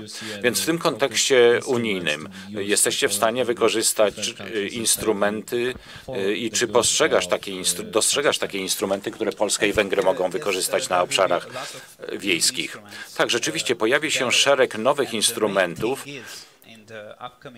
a w nadchodzącym okresie Komisja Europejska powinna zapewnić większą swobodę państwom członkowskim, jeśli chodzi o decyzję, w jaki sposób osiągnąć te cele środowiskowe i z jakich instrumentów skorzystają, aby te wcześniej zdefiniowane cele środowiskowe mogły być osiągnięte ponieważ no, w kolejnym okresie będą bardzo wyraźnie określone cele dla Europy i państwa członkowskie muszą e, podjąć wszelkiego rodzaju działania, aby spełnić te oczekiwania, osiągnąć te cele, a to będzie możliwe, jeśli skupimy się na zrównoważonym wykorzystaniu energii, na gospodarce cyrkularnej, biogospodarce i to dotyczy Polski i Węgier w takim samym stopniu. Te instrumenty są w naszych rękach, ponieważ Komisja Europejska stwierdziła, dajemy wam większą swobodę, ale oczekujemy, że osiągnięcie te cele. Więc miejmy nadzieję, będziemy mieli więcej swobody w tym obszarze. Możemy zgodzić się, że mamy wspólny cel, czy też szereg wspólnych celów, ale ścieżki, jakie obierzemy, mogą być różne. Czy to Pan właśnie powiedział? Oczywiście jest to zachęcające. Przejdę na język polski jednak ponownie. Jerzego Buzka z doświadczenia pracy w komisji ITRE, codziennych walk na przecinki między posłami do Parlamentu Europejskiego. Jakie wnioski dla Polski, Węgier, dla wsi w Europie Środkowo-Wschodniej płyną z tej gry o regulacje, które mają opisać tę transformację energetyczną w praktyce. E, panie profesorze, e, jeszcze proszę o dwa słowa komentarza do tego, co słyszeliśmy z Polski i Węgier dotychczas. Dziękuję bardzo, panie redaktorze. Ja kontynuując poprzednią wypowiedź, powiem, że tak, Komisja Europejska, Unia Europejska pozostawia dużą swobodę. Mówimy o tak zwanej technological neutrality, a poza tym, czyli jaką wybierzemy technologię, jeśli dla nas najlepsza, która będzie się wiązała z obniżeniem emisji gazów cieplarnianych, to nasza sprawa. My także, każde państwo członkowskie decyduje o energetycznym miksie. To nawet jest zapisane w traktacie lizbońskim. Więc e, e, ja chciałbym tylko dodać, e, ja się zgadzam z tym, co, co Pan mówił przed chwilą, całkowicie. Oczywiście z poprzednimi wypowiedziami także, tylko rozumiem, że mam naświetlić to w sposób ogólny ze strony europejskiej. Mm, to powiem tak. Unia Europejska od 11 lat e, wprowadziła system handlu emisjami. Słusznie pan profesor powiedział, że on wpływa dzisiaj na ceny energii elektrycznej z węgla. Ale przez te 11 lat mieliśmy wszystkie pieniądze z systemu handlu emisjami. W przypadku Polski to są, ja nie wiem, 20 miliardów złotych, nie wiem, duże pieniądze. Proszę sobie wyobrazić, że zainwestujemy to w energetykę rozproszoną, o której mówił pan profesor. No to po prostu Eldorado dla polskiej wsi. Eldorado. Dzisiaj fotowoltaika z pompą ciepła się zwraca tam po 6-7 lat. Kompletnie się zwraca. Następne 25 lat czy 20 mamy prąd za darmo. No kochani, no to jest po prostu coś fantastycznego, ale już słyszymy, że od 1 stycznia te relacje finansowe będą inne. Mamy zapisane. Punkt widzenia Unii Europejskiej. Zrobiliśmy rewizję 4 lata temu, ja osobiście to negocjowałem, e, dyrektywy o energetyce odnawialnej, także rynek energii, cały nowy rynek energii, jak dopuścić energetykę odnawialną. Też byłem głównym negocjatorem i szefem komisji, dlatego że jako szef komisji, tej właśnie komisji, byli przedstawiciele Rady, czyli ministrów ze wszystkich krajów i wynegocjowaliśmy na przykład, że nie można umowy dotyczącej energetyki prosumenckiej, odnawialnej zmieniać tak sobie. Na pięć lat musi być program, jeśli jest zapisane w umowie z tym prosumentem, tu jest definicja, ja to wszystko mam, ale nie będę czytał. My znamy oczywiście. Definicja, definicja prosumenta. Każdego należy dopuścić, jeśli, jeśli chce produkować energię elektryczną na własne potrzeby i mało tego, ma prawo sprzedawać tę energię elektryczną do sieci. To wszystko jest zapisane. I teraz, jeśli się chce w ciągu paru miesięcy zmienić zasady, to jest zapisane, jeśli w umowie przewidziano zmianę zasad, to można je negocjować. A jak nie przewidziano zmiany zasad, to są stare. No to ja pytam, czy my przestrzegamy tych reguł? Bo już cztery lata temu, pięć lat temu e, ta odległościowa ustawa zabiła nam wszystkie sprawy związane z energetyką wiatrową. A więc z punktu widzenia Unii wszystkie te regulacje są zapisane. Teraz jest nowa regulacja, która w tym zakresie nic nie zmienia. Ja też tu mam jej dane. Przyjrzałem się czemu, jeśli chodzi o prosumentów, bo przepraszam, ja się skupiam na tym, dlatego że słusznie mówimy, że w rolnictwie nie jesteśmy najgorsi, samym rolnictwie, ale przecież rolnik musi grzać, musi używać prąd. No to wszystko jest bardzo dzisiaj słabe, prąd drożeje. Jeszcze jeden dodatek, bo jak pan redaktor mnie pytał o sprawy ogólne, no to ja właśnie mam za dużo do powiedzenia, przepraszam, ale dodam jedną rzecz, że to wszystko jak, tak jak zawsze w przypadku gospodarki, to jest sinusoida. Może być zapaść drobna, ale potem znowu w górę. I to w końcu rozwijamy się cały czas, mimo kryzysów 2008, 2009, wcześniej, cały czas idziemy w górę sinusoidą. I może być tak jak teraz, że nagle węgiel jest bardzo opłacalny, bo gaz siadł, e, flauta na, e, czy w ogóle pro, e, produkcja energii elektrycznej, flauta była na, na, na, na morzu, na, na północy Europy, nie wiały, wiatraki nie działały, a Gazprom zakręcił kurki. Magazyny w Austrii i tak dalej są puste. Cena gazu wzrosła nieprawdopodobnie, bo przed zimą każdy chce mieć e, zapasy, a Gazprom chce wymusić Nord Stream 2. I takie rzeczy się zdarzają. Po to robiliśmy wspólną politykę energetyczną i powiedzmy sobie szczerze, pan redaktor o tym także wie, to był polski pomysł. To po, po, również regulacje do Nord Stream 2. Tak, to jest, SOS, dyrektywa gazowa. Tak, wszystko. SOS, czyli e, Security of Gas Supply. To, to wszystko były polskie pomysły. I Unia się na to otworzyła, bo to są dobre pomysły. I dzisiaj, I dzisiaj to jest tak, że przejściowo węgiel jest cenny, bo gaz podskoczył do góry. Ale jestem przekonany, że jak się rozstrzygnie sprawa z Nord Stream 2, jakoś na zasadzie prawa europejskiego nie może być innego rozwiązania. Będą mieli bardzo trudno.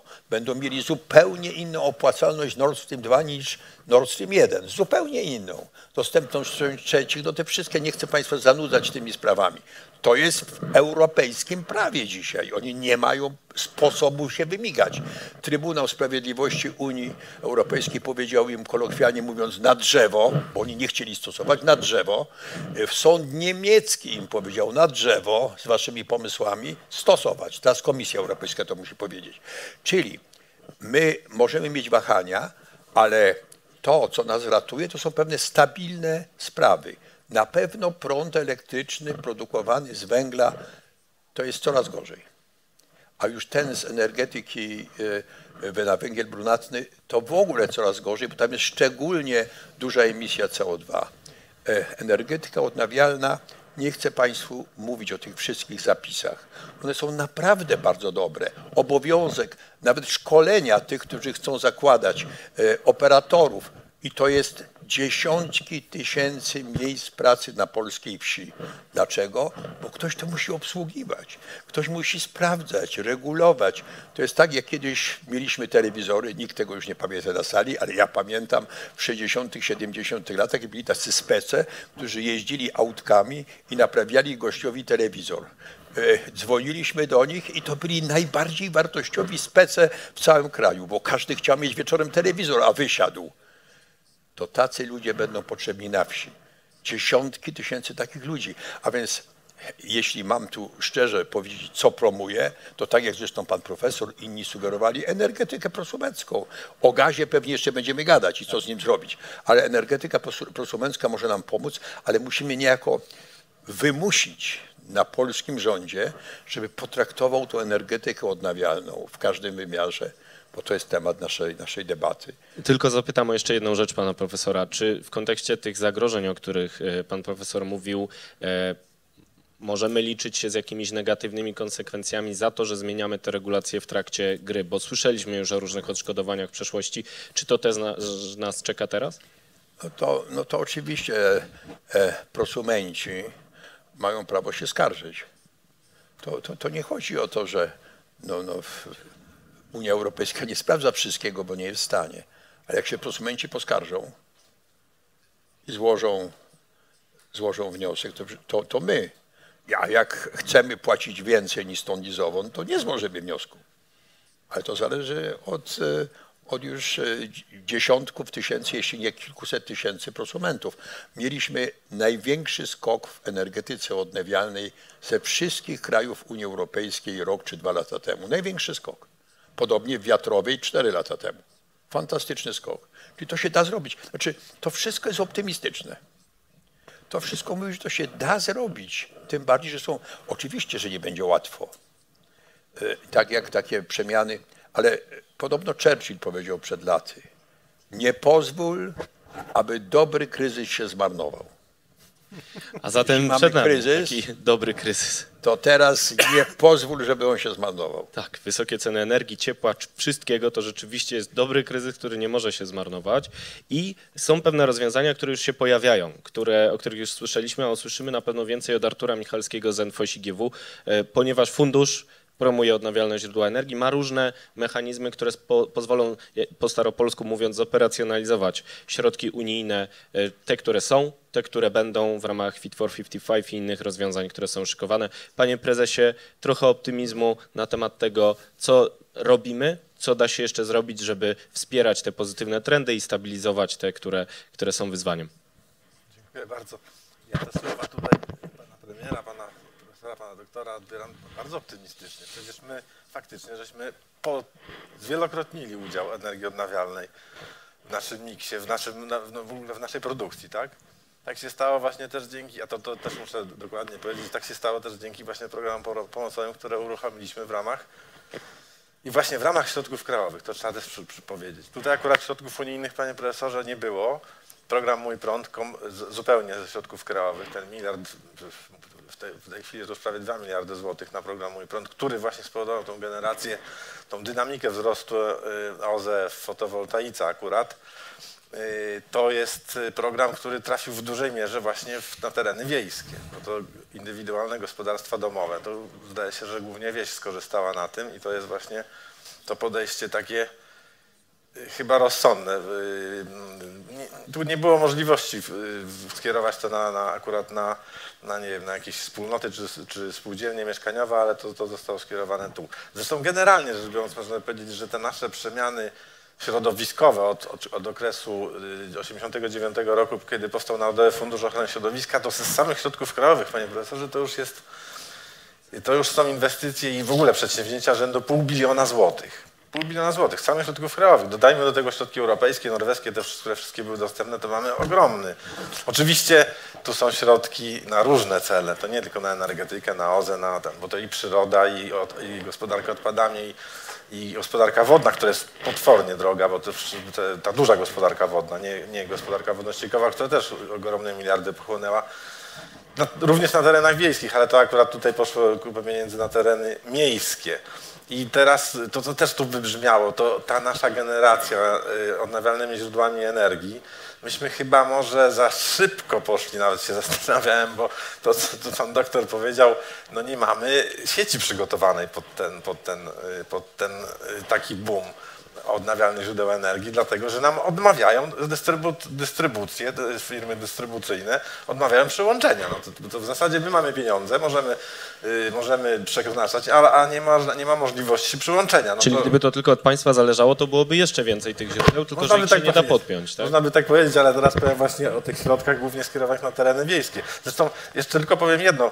Jak mi były ostatnio taki w, w tych mediach społecznościowych, wśród, w branży akurat pojawił się taki, taki news, że na maksymalna generacja z odnawialnych źródeł energii była w ostatnich tam chyba dniach, tak? Czy była? Już nie pamiętam nawet jakiej wielkości, ale tam co jakiś czas się pojawia, za parę miesięcy się pojawia maksymalna moc z, z, ze źródeł odnawialnych. Jeśli są to wiatraki, no to wiedzmy, że w tle, na gorącej rezerwie musi Bełchatów cały czas pompować to, ten węgiel i to CO2, bo nie ma szans wyłączyć, bo, bo wiatr wieje dobrze, to wyłączymy. Beł- Bełchatów musi być na gorącej rezerwie, oczywiście nieco mniej emituje, ale CO2 i cały czas emisja jest, bo na, na, na, na, na stabilnym źródle energii. Musimy mieć cały czas tą moc, przecież nie możemy sobie pozwolić na to, że, tak, że a to poczekamy, zaraz uruchomi się generator, uruchomi się mała y, turbina, czy, czy to, to, te źródła stabilizujące, więc to też trzeba wziąć pod uwagę, no i tu jest jakby też wymóg w kierunku właśnie dużej energetyki, żeby, żeby też się y, zmieniać, ale oczywiście popieram w, całkowit, w całej rozciągłości, to, to również wybrzmiało w, w słowach ministra Michała Kurtyki, ale też również y, pana ministra Grzegorza Pudy, zresztą zaraz jeszcze jedno, jedno zdanie powiem odnośnie tych najbliższych planów, wybrzmiało to, że musimy właśnie iść w te rozproszone, jak najbardziej rozproszone źródła energii. Dlatego, że wtedy też nie będziemy potrzebować tak dużo pieniędzy na modernizację sieci energetycznej. Bo, bo gdy zainstalujemy ogromne, ogromną moc na offshore'ach, ogromną moc w, jednym miejscu, w jakichś tam e, określonych obszarach, czy w elektrowni atomowej, no to musimy wtedy przebudować bardzo mocno sieci elektroenergetyczne, co pochłonie potworne pieniądze, które może by wypadało przeznaczyć na przykład właśnie na rozwój prosumenckiej energetyki. I już mówię, bo myśmy chcieli właśnie ten program Mój Prąd też właśnie spowodować, żeby on bardziej przystabilizował nam, czyli teraz już byśmy szli i to, co zresztą już też wybrzmiało w tej nowej odsłonie, jest po to to zrobione, żeby można właśnie było się przyłączać. No bo jeśli nie zapewnimy stabilności tych odnawialnych źródeł energii, czyli to, żeby wyrównywała nam się ta, ta krzywa, żeby nie było tych pików, czy magazynami, czy jakimiś e, dystrybu- hybrydami, bo możliwe są połączenia hybrydowe od różnych odnawialnych źródeł energii, w każdym razie w przemyślany sposób, to, to wówczas pozbędziemy się tego problemu ze stabilnością tej sieci, ze stabilnością y, odnawialnego, tej, tej hybrydy, produkcji energii elektrycznej, żeby sieć mogła normalnie funkcjonować. I w tym celu właśnie jest zrobiona i ta zmiana i w tym celu będziemy również przeznaczać kolejne środki, żeby magazyny energii, te, albo te lokalne, albo nawet te prosumenckie dofinansować. I to jest też przewidziane w programie Agroenergia, który y, pan minister y, rolnictwa i rozwoju wsi lada dzień z ministrem Michałem Kurtykiem, czyli ministrem klimatu i środowiska ogłosi nową odsłonę programu Agroenergia, czyli dofinansowanie w dwóch częściach, bo tam jest część związana z, z, y, z fotowoltaiką i z, no, ewentualnie ze źródłami wiatrowymi, ale generalnie fotowoltaika dla terenów wiejskich, czyli tylko dla gospodarstw wiejskich przeznaczona ale co ważniejsze, nawet bym powiedział może, yy, tam jest również możliwość uzyskania dofinansowania i to w niemałym procencie, bo w 50% na biogazownie i małe elektrownie wodne, na te stabilne właśnie odnawialne źródła energii. Bo biogazownię możemy stabilizować, to już nie będzie jakaś tam moc nie wiadomo jaka, bo tych biogazowni nie, nie postawimy obok siebie dużo, bo to jest zależne od od wsadu, y, ale małe elektrownie wodne tam, gdzie można, zresztą to już było, że tak powiem, ogłoszone wcześniej, ale chyba były za słabe zachęty. Nie wiem, czemu tak mało się zgłosiło wniosków, ale generalnie rzecz biorąc rolnictwo i tereny wiejskie mają możliwości finansowania i to pan minister y, Grzegorz Puda z panem ministrem Michałem Kurtyką, y, chyba nawet to będzie we wtorek ogłoszą ten program, który będzie to wspierał. Tam... A wiadomo, ile tam wsparcia się pojawi? To, to jest pula, znaczy na tą chwilę to jest pula 200 milionów złotych, ona w części jest wyczerpana z pierwszego naboru, ale w, nie, w niedużej części, więc ja podejrzewam, że jeśli będą chętni, jeśli będzie, yy, jeśli będzie taka potrzeba, to tą pulę będzie można zwiększyć. Bo, bo no, to chyba jest świadomość i, i u naszych ministrów i, i, i, u, pana premiera Mateusza Moreckiego, że że te rzeczy potrzebują nakładów i je trzeba po prostu wspierać, zwłaszcza, że te programy są pięknie uszyte, dlatego że promują hybrydy, promują gospodarstwo ekologiczne, promują nieduże odnawialne źródła energii, czyli takie właśnie stabilizujące to, co, to, co, y, to, co w tej chwili jakby nam jest pewnym mankamentem i takim nie mm, jakby to powiedzieć, no w każdym razie jeszcze nie, nie, nie, nie, niewystarczająco Y, ogarnięte tak przez nas. I to będzie element Polskiego Ładu również? Bo słyszeliśmy o tym wystąpieniu pana. Na razie to są środki Narodowego Funduszu, ale w Polskim Ładzie to już się dzieje, to będzie pewnie y, kolejny krok. Na razie już teraz możemy powiedzieć, że już ogłaszamy, tak? Pan minister tak. może to powiedzieć, natomiast, natomiast to, co będzie w Polskim Ładzie, to jeszcze chwila. To jeszcze, to jeszcze, to jeszcze, nie, nie, to jeszcze nie pojutrze, ale, ale pewnie też niedługo. No właśnie, i to są środki, pomysły na to, jak wspierać e, trendy, o których dzisiaj rozmawiamy. Proszę dwa słowa komentarza doktora Księżopolskiego, który okiem naukowca może nam powiedzieć, co o tym myśli. Oj, w dwóch słowach to bardzo, to w trzech. bardzo, bardzo trudno. E, ja myślę, że bardzo dobrze, że idziemy w kierunku właśnie takich no, e, pomysłów na stabilizację prawda, tej sieci. Natomiast proszę pamiętać o tym, że polityka publiczna nie zna ograniczeń, tylko są koszty. Tak? I teraz e, pytanie jest, e, kto e, e w jakim stopniu te koszty poniesie. Tak? I e, to też jest koszt sieci. No więc oczywiście bardzo dobrze, że e, woda, prawda, no, ja, ja pamiętam kiedyś było Polskie Stowarzyszenie Energetyki Wodnej małe stowarzyszenie, które chodzili sami i sprawdzali, gdzie można byłoby zrobić, prawda, e, e, małe elektrownie wodne i całe litanie, prawda, przeszkód administracyjnych, że tego nie można było po prostu, po prostu robić. Więc to jest rzeczywiście pomysł, e, e, gaz również, ten, ten biogaz prawda, rolniczy, na pewno, na pewno tak. Magazyn, magazyny energii to tylko, ja mam zawsze taki, taki, taki sygnał, ok, ale co z metalami ziem rzadkich, czy to w przyszłości będzie można E, że tak powiem, odtwarzać, czy to jest taki właśnie długoterminowy pomysł, pomysł na, e, na, tą, e, na tą sieć. Czyli sumując, oczywiście tak, natomiast, natomiast jeżeli my powiemy, ok, no nie mamy sieci i, no i w związku z tym nie przyłączamy, no to jak gdyby się nic nie zmieni, tak? Czyli powiedzmy sobie, musicie przyłączać i tyle, musicie tak to zrobić, żeby to można było przyłączyć. Z punktu widzenia polityki publicznej to jest oczywiście możliwe. To tak samo jak, proszę Państwa, e, byśmy ustali sobie za 10 lat wszyscy w Polsce będą jeździć samochodami elektrycznymi. Prawda? Będzie niemożliwe. A ja Wam powiem, że możliwe, tylko że Skarb Państwa musi dopłacić pewnie ze 120 tysięcy każdemu z nas, prawda? I wtedy wszyscy będziemy jeździć samochodami elektrycznymi, jeszcze dać na to, na to, na siamto i tak dalej. Więc tutaj jest kwestia e, wyliczenia tego dokładnie, e, analizy, Y, jak szybko można to robić. I pamiętajmy o, o, o, fachowcach, że bardzo często ci, którzy mają ten umysł techniczny, nie, nie, da się tego zrobić. To się nie da, proszę pana, tego zrobić. Zresztą chyba państwo remontowaliście kiedyś mieszkania, więc wiecie, jak to, jak to mieszkania czy domy, jak to wygląda. Przychodzi fachowiec, no, nie da się, tak? No da się, od tego jest właśnie polityka publiczna, tylko trzeba to w odpowiedni sposób zrobić i, i e, mechanizm administracyjny, finansowy, czyli e, regulacyjny, finansowy i to, i to, będzie, i to będzie e, działać. Więc nie, nie, nie, uzna, nie uznajmy sieci jako, jako, że tak powiem, taki, taki element blokujący, no tym bardziej, że, że ona i tak wymaga, tak jak mówiłem na samym początku, no, bardzo dużych zmian. Panie profesorze, widziałem, że notuje Pan e, podczas wypowiedzi przedstawiciela funduszu, czyli możemy liczyć na kilka słów jeszcze komentarza odnośnie tych propozycji, odnośnie barier, o których mówił e, też Pan doktor Księżopolski, na przykład w kontekście metali ziem rzadkich, no bo OZE też mają pewne ograniczenia, to znaczy magazyny potrzebują surowców, e, potem potrzebują recyklingu lub utylizacji, więc tu też są pewne wyzwania. Tak, oczywiście. To nie jest tak, że jakieś źródło energii jest bezgranicznie dobre na przykład atom, to jest dość paskudne źródło energii. Będziemy się ratować, bo nie emituje e, gazów cieplarnianych, ale to jest paskudne źródło energii. I te odpady, i to, co tam się dzieje, konieczność całkowitej, no, sztuczna inteligencja, no, to, to, to jest takie niesympatyczne, dlatego niektórzy wychodzą z atomu oczywiście, mając ten atom. E, podobnie jest z energetyką odnawialną. E, na przykład te panele trudno utylizować, a poza tym my nie mamy metali ziem rzadkich. To jest tak, że Chińczycy to zdominowali 80-90%.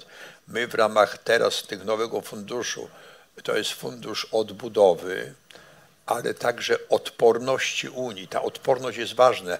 Skracamy cykle produkcyjne w farmaceutyce, w chipach, bo okazuje się, że to musimy u nas produkować. My nie możemy polegać na, na, na produkcji dalekiej, chociaż taniej. I to samo jest w energetyce odnawialnej. Ja miałem okazję jeszcze z 11 lat temu być sprawozdawcą programu ramowego Unii, to jest tam w tej chwili 100 miliardów euro na, na same badania, na same badania w Unii. O, straszliwe pieniądze, największy w skali świata program badawczy.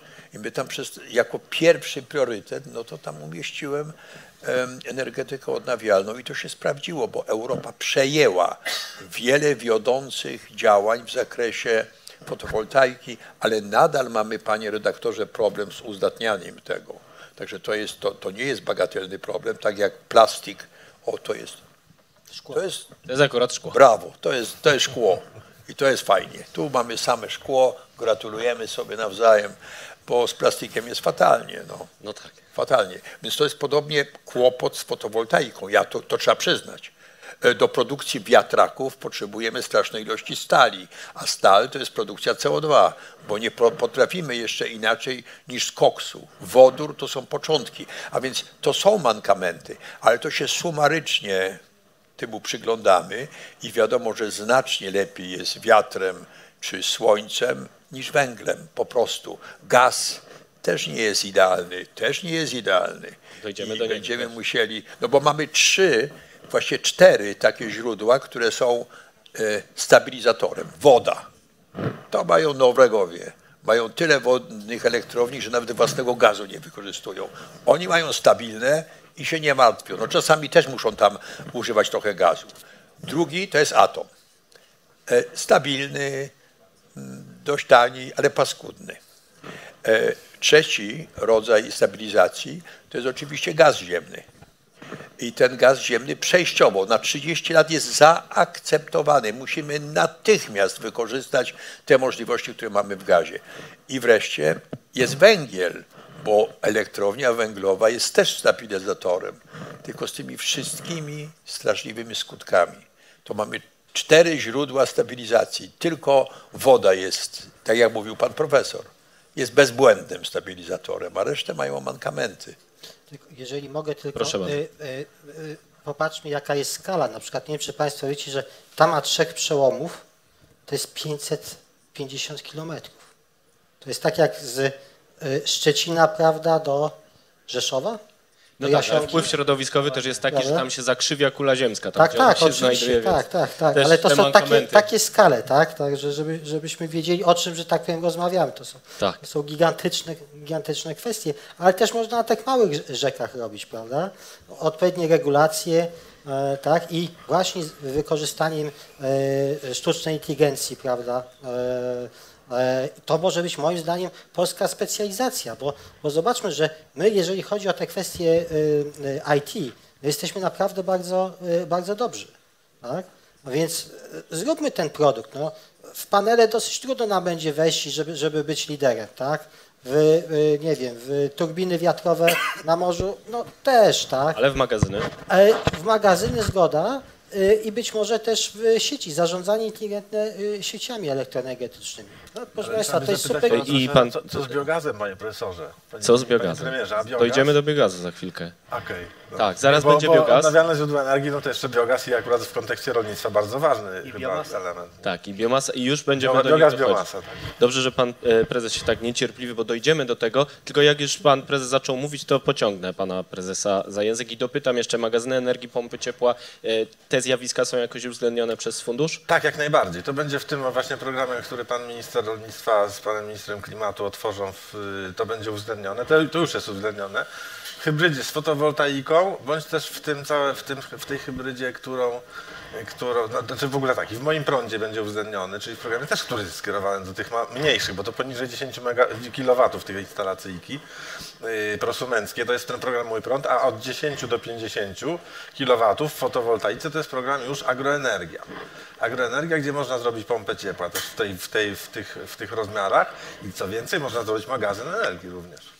I też będzie, też jest kosztem kwalifikowanym i, i też będzie przydotowany, bo tam jest program dotacyjno-pożyczkowy, także możemy 100% nas sfinansować. Dotacji niskoprocentowanej pożyczki, a to co pan profesor powiedział faktycznie, że już może się zwracać po 6 latach, to przy, każdej, przy każdym jakby procencie dotacji to ten, ten, ten okres zwrotu jest jeszcze krótszy, tam 3 lata powiedzmy. No to chyba się opłaca. Tak, no spoiler alert, jak to mówi młodzież, y, czyli wiemy już, co będzie się działo w przyszłym tygodniu. Będziemy na pewno obserwować bacznie y, komunikaty Ministerstwa Klimatu, Ministerstwa Rolnictwa. Y, Trzymam kciuki.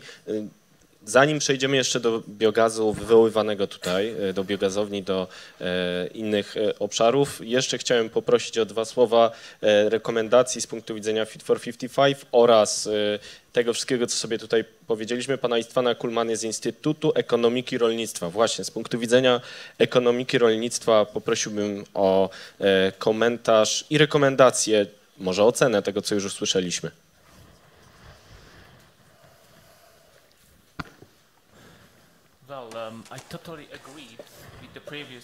Całkowicie zgadzam się z tymi wcześniejszymi stwierdzeniami dotyczącymi stabilizacji sieci, szczególnie jeśli chodzi o obszary wiejskie.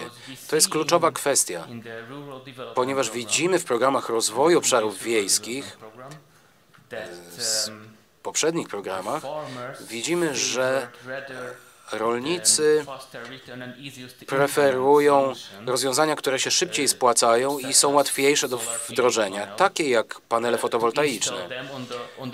Preferują instalować je na domach, na dachach swoich domów, dokładnie. Myślę, że problemem jest słabość sieci w obszarach wiejskich. Jeśli mogę skomentować kwestię biogazu, ponieważ to również będzie jedno z kluczowych rozwiązań, ponieważ jest to najlepsze rozwiązanie dla centralizacji produkcji energii w obszarach wiejskich, dla decentralizacji tej produkcji, ponieważ jeśli weźmiemy pod uwagę wszystkie aspekty rolnictwa, zarządzanie e, ściekami e, czy odpadami z produkcji zwierzęcej, to dobrym rozwiązaniem będzie wykorzystanie tych odpadów ciekłych do produkcji energii i wprowadzanie tej energii do krajowego systemu energetycznego. Więc z mojego punktu widzenia to będzie dobre rozwiązanie w zakresie stabilizacji sieci. Czy macie Państwo podobne rozwiązania i podobne przeszkody na Węgrzech?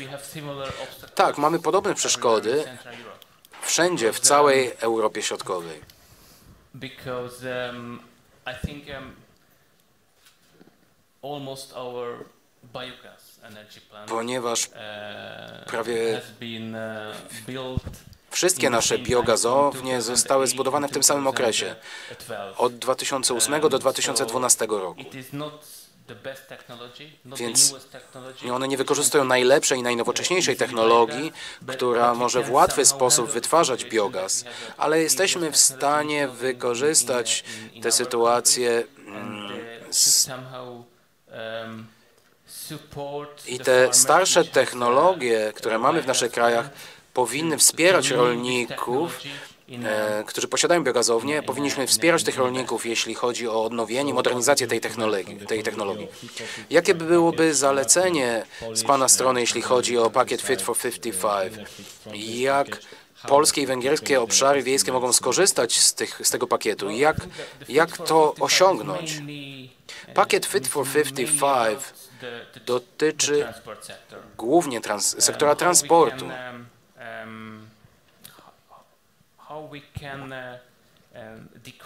Jak możemy zmniejszyć zużycie paliw?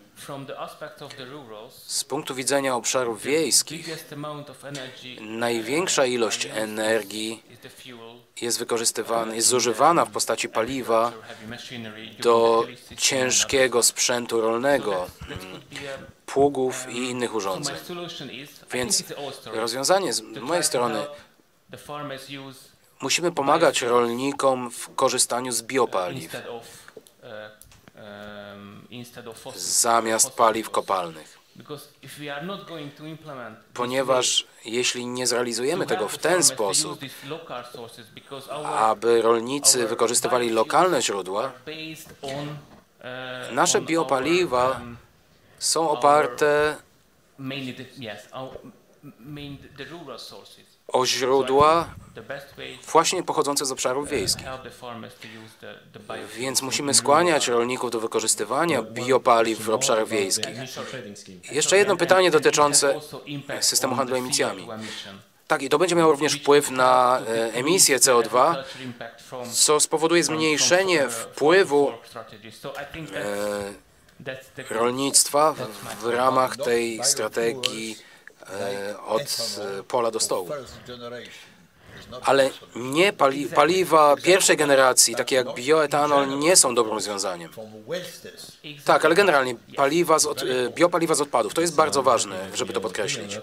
Cieszę się, że wszyscy się zgadzamy. Jeszcze jedno pytanie dotyczące systemu handlu emisjami i presji wywieranej przez ten system na sektor rolny. O tym nie mówiliśmy. Jakie jest państwa, jakie jest Pana spojrzenie na to, na te kwestie? To jest trudne pytanie. Chciałbym spojrzeć na to z innej strony. Jak możemy sobie poradzić z emisjami CO2? Czy powinniśmy stworzyć rynek handlu emisjami CO2 w rolnictwie? Myślę, że to będzie następne zadanie w przyszłości. Więc jeżeli stworzymy tego rodzaju platformę, która już jest dostępna w Stanach Zjednoczonych, są pewne rozwiązania w tej kwestii w Niemczech, gdzie rolnicy mogą uwzględniać swoje e, emisje w systemie ETS. Takie jest moje spojrzenie na te kwestie. Dziękuję bardzo, to jest bardzo ważne. Jeszcze dwa słowa komentarza w kontekście emisji CO2 z rolnictwa, bo ETS obejmie rolnictwo w ramach e, Fit for 55. Czy e, to będzie dodatkowa presja, która sprawi, że, to, że te zmiany i tak nastąpią? ETS nie obejmie rolnictwa wprost. To może być w dalekiej przyszłości, na pewno będzie. E, tego się na przykład boją Holendrzy, bo mają ogromną hodowlę i nawet mówili, że na 2050 rok będą mieli kłopoty z e, neutralnością klimatyczną. Holendrzy bo w końcu się zgodzili, podpisali, no trzeba to robić. Natomiast e, e, nasze rolnictwo wejdzie później, ale teraz wchodzi tak, transport i budownictwo. Transport to jest także rolnictwo. Wszyscy używamy samochodów, pojazdów, e, mamy kombajny i te kombajny muszą być elektryczne albo na wodór. No to będzie duża różnica, bo transport jest w ETS-ie, ale oczywiście nie produkcja rolna, nie to tak zwane czyste rolnictwo, tylko te okołorolnicze sprawy, oczywiście ogrzewanie domów, bo budynki, budownictwo wchodzi w ETS, a więc jak teraz y, grzejemy węglem, no to dramat. Musimy z niego wychodzić. Jak wyjść z tego węgla bezpiecznie, to jest osobny temat. No właśnie, więc y, to jest ta skala. E, skala wyzwań, o której y, chciałbym, żeby powiedział też Tomasz Mirowski z Instytutu Gospodarki Surowcami Mineralnymi i Energią PAN oraz Instytutu Polityki Energetycznej. E, chciałem zapytać o Pana zdanie na ten temat, zanim przejdziemy do biogazowni. E, dziękuję bardzo. Szanowni Państwo, ja sobie ponotowałem kilka takich ważnych rzeczy, bo bardzo dużo tutaj kwestii już poruszyliśmy, do których ja chciałem nawiązać. Proszę bardzo. E, przede wszystkim e, mamy proces dekarbonizacji. E, mamy proces dekarbonizacji, tak jak pan profesor wspomniał, w sektorach, czy nie obejmie rolnictwa bezpośrednio? Pewnie pośrednio tak. Transport, rolnictwo, gospodarstwa domowe. To, to jest sektor non-ETS-owy, który zaczynamy już w Kobize y, pierwszą fazę y, monitorowania tych sektorów. Sprawdzamy po prostu y, dokładnie, jak, jak, jak tam, jakie tam występują emisje. Uszczelniamy systemy. Mamy centralną bazę emisyjności budynków, która weszła teraz. Mamy system monitoringu odpadów. Za chwilę będziemy wiedzieć troszeczkę więcej. Za chwilę przejdziemy do do ciepłownictwa indywidualnego, do, do kopciuchów, y, mamy czy program Czyste Powietrze, tych elementów, które dostarczają nam pewne informacje y, nieco przerażające w tym, tym kontekście, y, skłaniają nas do, do, takich już jakby decyzji, myślę, że na poziomie lokalnym, samorządowym, samorządowym żeby coś zmienić. To, co pan profesor e, nawiązał do, do, do węgla, 68 ponad milionów ton węgla w, w, w, naszej gospodarce spalanej, głównie w energetyce zawodowej, to te 10 milionów idzie do gospodarstw domowych. E, mamy 5 milionów gospodarstw e, na wsi. Prawdopodobnie to tam się ten węgiel spala. Częściowo są to gospodarstwa rolne. Więc co w miejsce, co w miejsce węgla już, nie w kontekście 5-10 lat i będziemy się zastanawiać, tylko co, co damy już. Patrząc na statystyki programu Czyste Powietrze, e, największym e, powodzeniem cieszą się kotły gazowe. Na drugim miejscu są kotły na pelet drzewny e, i bardzo blisko e, tego drugiego miejsca są pompy ciepła. E, pozostałe technologie są już jakby mniej używane. I też mamy świadomość, że za chwilę musimy w programie Czyste Powietrze mm, usunąć, nie wiem, może pan prezes mnie poprawi, usunąć paliwa kopalne, więc tam ten gaz pewnie stamtąd zniknie i zniknie też... Ostatni moment, prawda? Tak, to jest, to jest chyba ostatni moment. Jeśli chcemy zasilić ten fundusz pieniędzmi unijnymi. Jeśli nie, no to, to, to możemy, prawda? Więc to są, to są rzeczy, które, które są bardzo istotne. Ja ja będę chciał nawiązać tutaj do, do biomasy, do biomasy stałej, która w Polsce wypadła w ogóle w, w dyskusji, w debacie. Bardzo mnie ucieszyło to, że pan, pan minister rolnictwa Węgier właśnie wspomniał o biomasie. Tutaj kolega też wspomniał o biogospodarce i o, o, o biomasie, że jest to bardzo ważny element gospodarki cyrkularnej. Są takie obszary, w których nie możemy, nie możemy sobie pozwolić na to, że tą biomasę wprowadzimy w strumień odpad, odpadów selektywnych, że, że jej nie wykorzystamy, że, że ktoś ją odbierze, przewiezie i gdzieś ją przetworzy i nie będzie to w naszym obszarze bilansowania, na przykład w gminie czy w powiecie. To już się dzieje, to już ta biomasa wymyka nam się, ta taka bardziej brudna powiedzmy, taka odpadowa.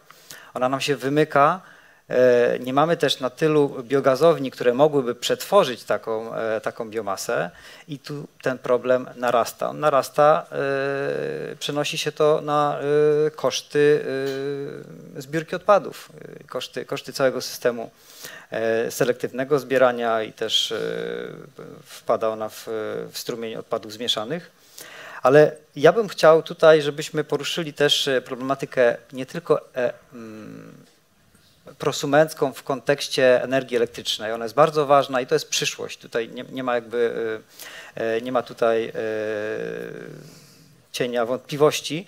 Natomiast mamy też ciepło. To ciepło, które tutaj pan doktor poruszył, problem, że ta tkanka budownictwa, która jest w Polsce, ona niestety nie nadaje się za bardzo na nowoczesne technologie typu pompy ciepła z fotowoltaiką, tak żeby, żeby ta, ta pompa ciepła pracowała na, na źródle odnawialnym, a nie na, na prądzie z węgla.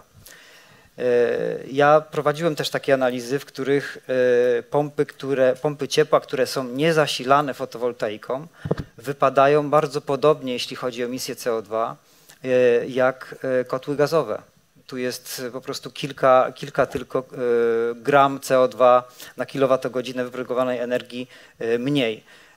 Dlatego, że właśnie mamy ten czarny, czarny prąd. Myślę, że nawiązując do problematyki rolnictwa i, i tego, jaka przyszłość jest dla rolnictwa w kontekście osiągnięcia neutralności klimatycznej, musimy też przywołać problem śladu węglowego. Śladu węglowego, który już wprowadzamy do,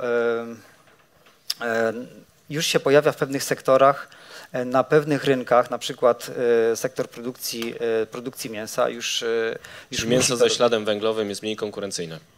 Tak, a wręcz, a wręcz są zapowiedzi, że po prostu ono nie będzie, nie będziemy mogli go eksportować, bo po prostu nie będzie miało rynków zbytu. Więc powoli, powoli będziemy musieli policzyć, jaka jest emisyjność produkcji, wytwarzania, również, również produkcji rolnej. I teraz to, że policzymy ten ślad węglowy, to jest jedno, a drugie to jest to, jak go zmniejszyć.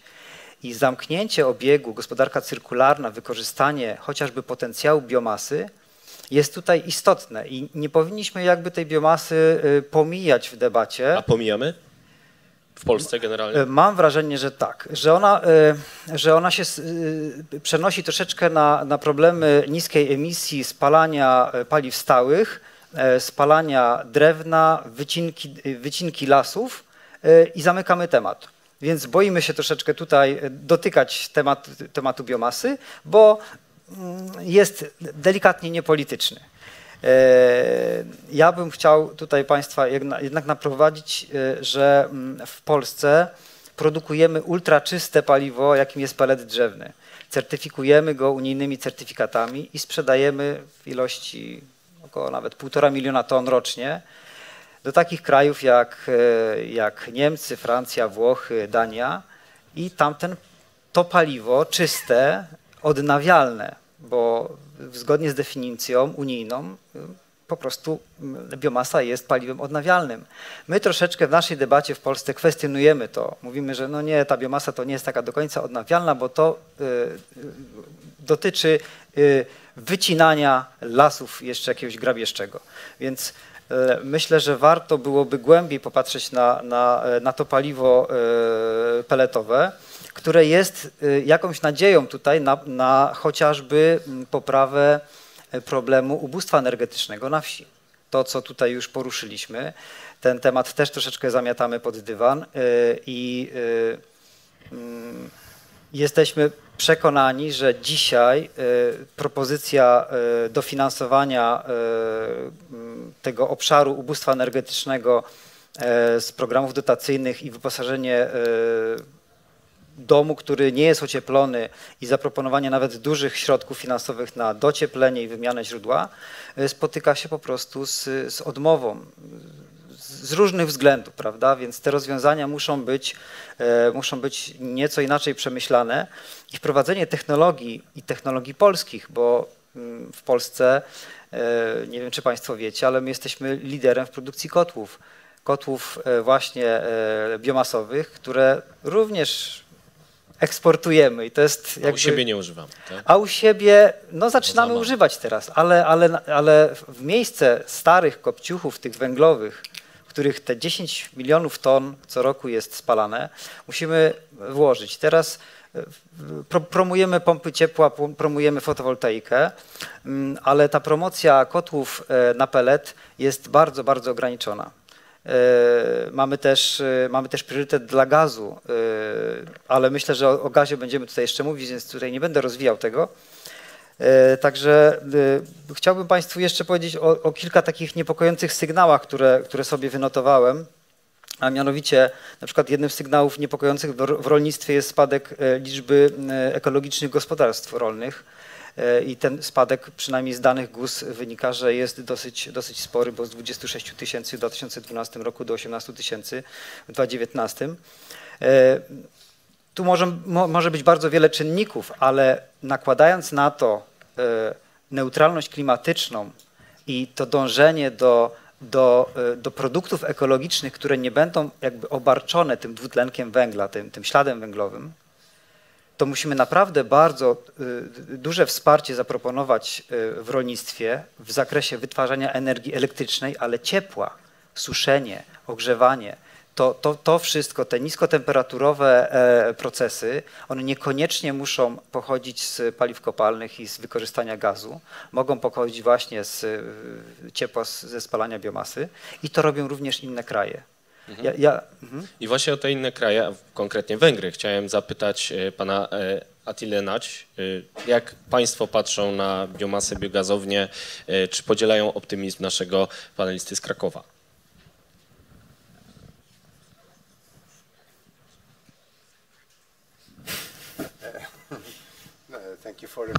Bardzo dziękuję za to pytanie.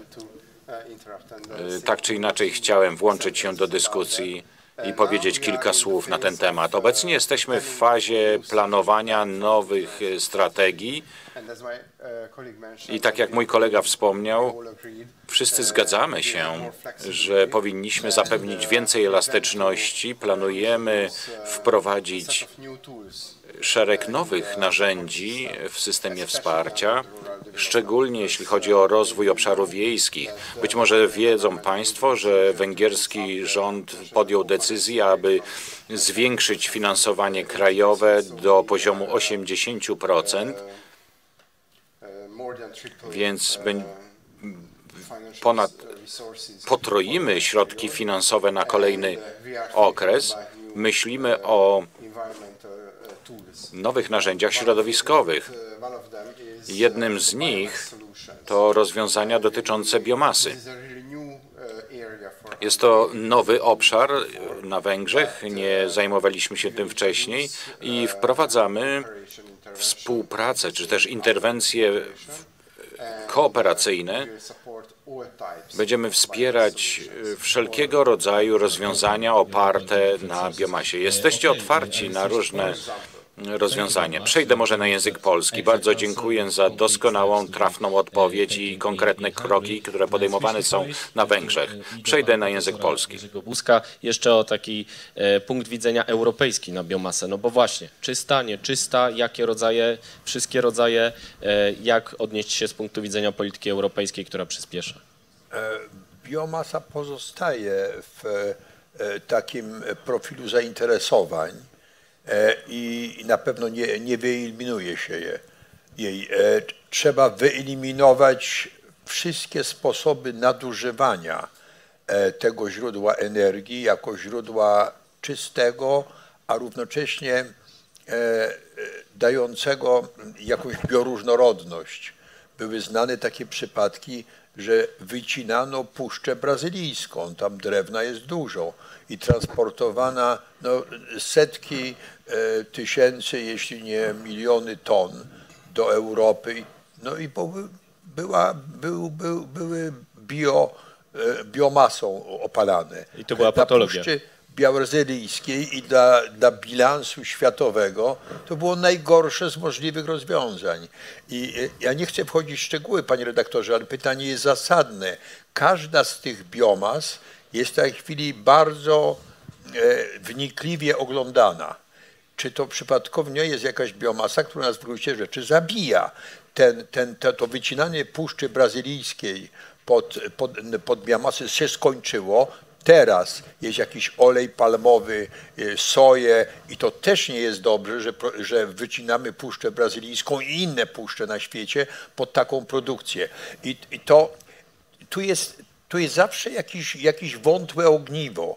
Ja już wspomniałem o tym, że kiedyś były biopaliwa e, w Unii Europejskiej modne i mieliśmy mieć 5%, 10, 15 i to był etanol jak się przeanalizowało, ile trzeba spalić węgla, żeby wyprodukować etanol, czyli spirytus, taki, który normalnie jest używany, to się to okazało kompletnie nieopłacalne z punktu widzenia ochrony klimatu. Czyli biopaliwa pierwszej generacji są dzisiaj wyeliminowane.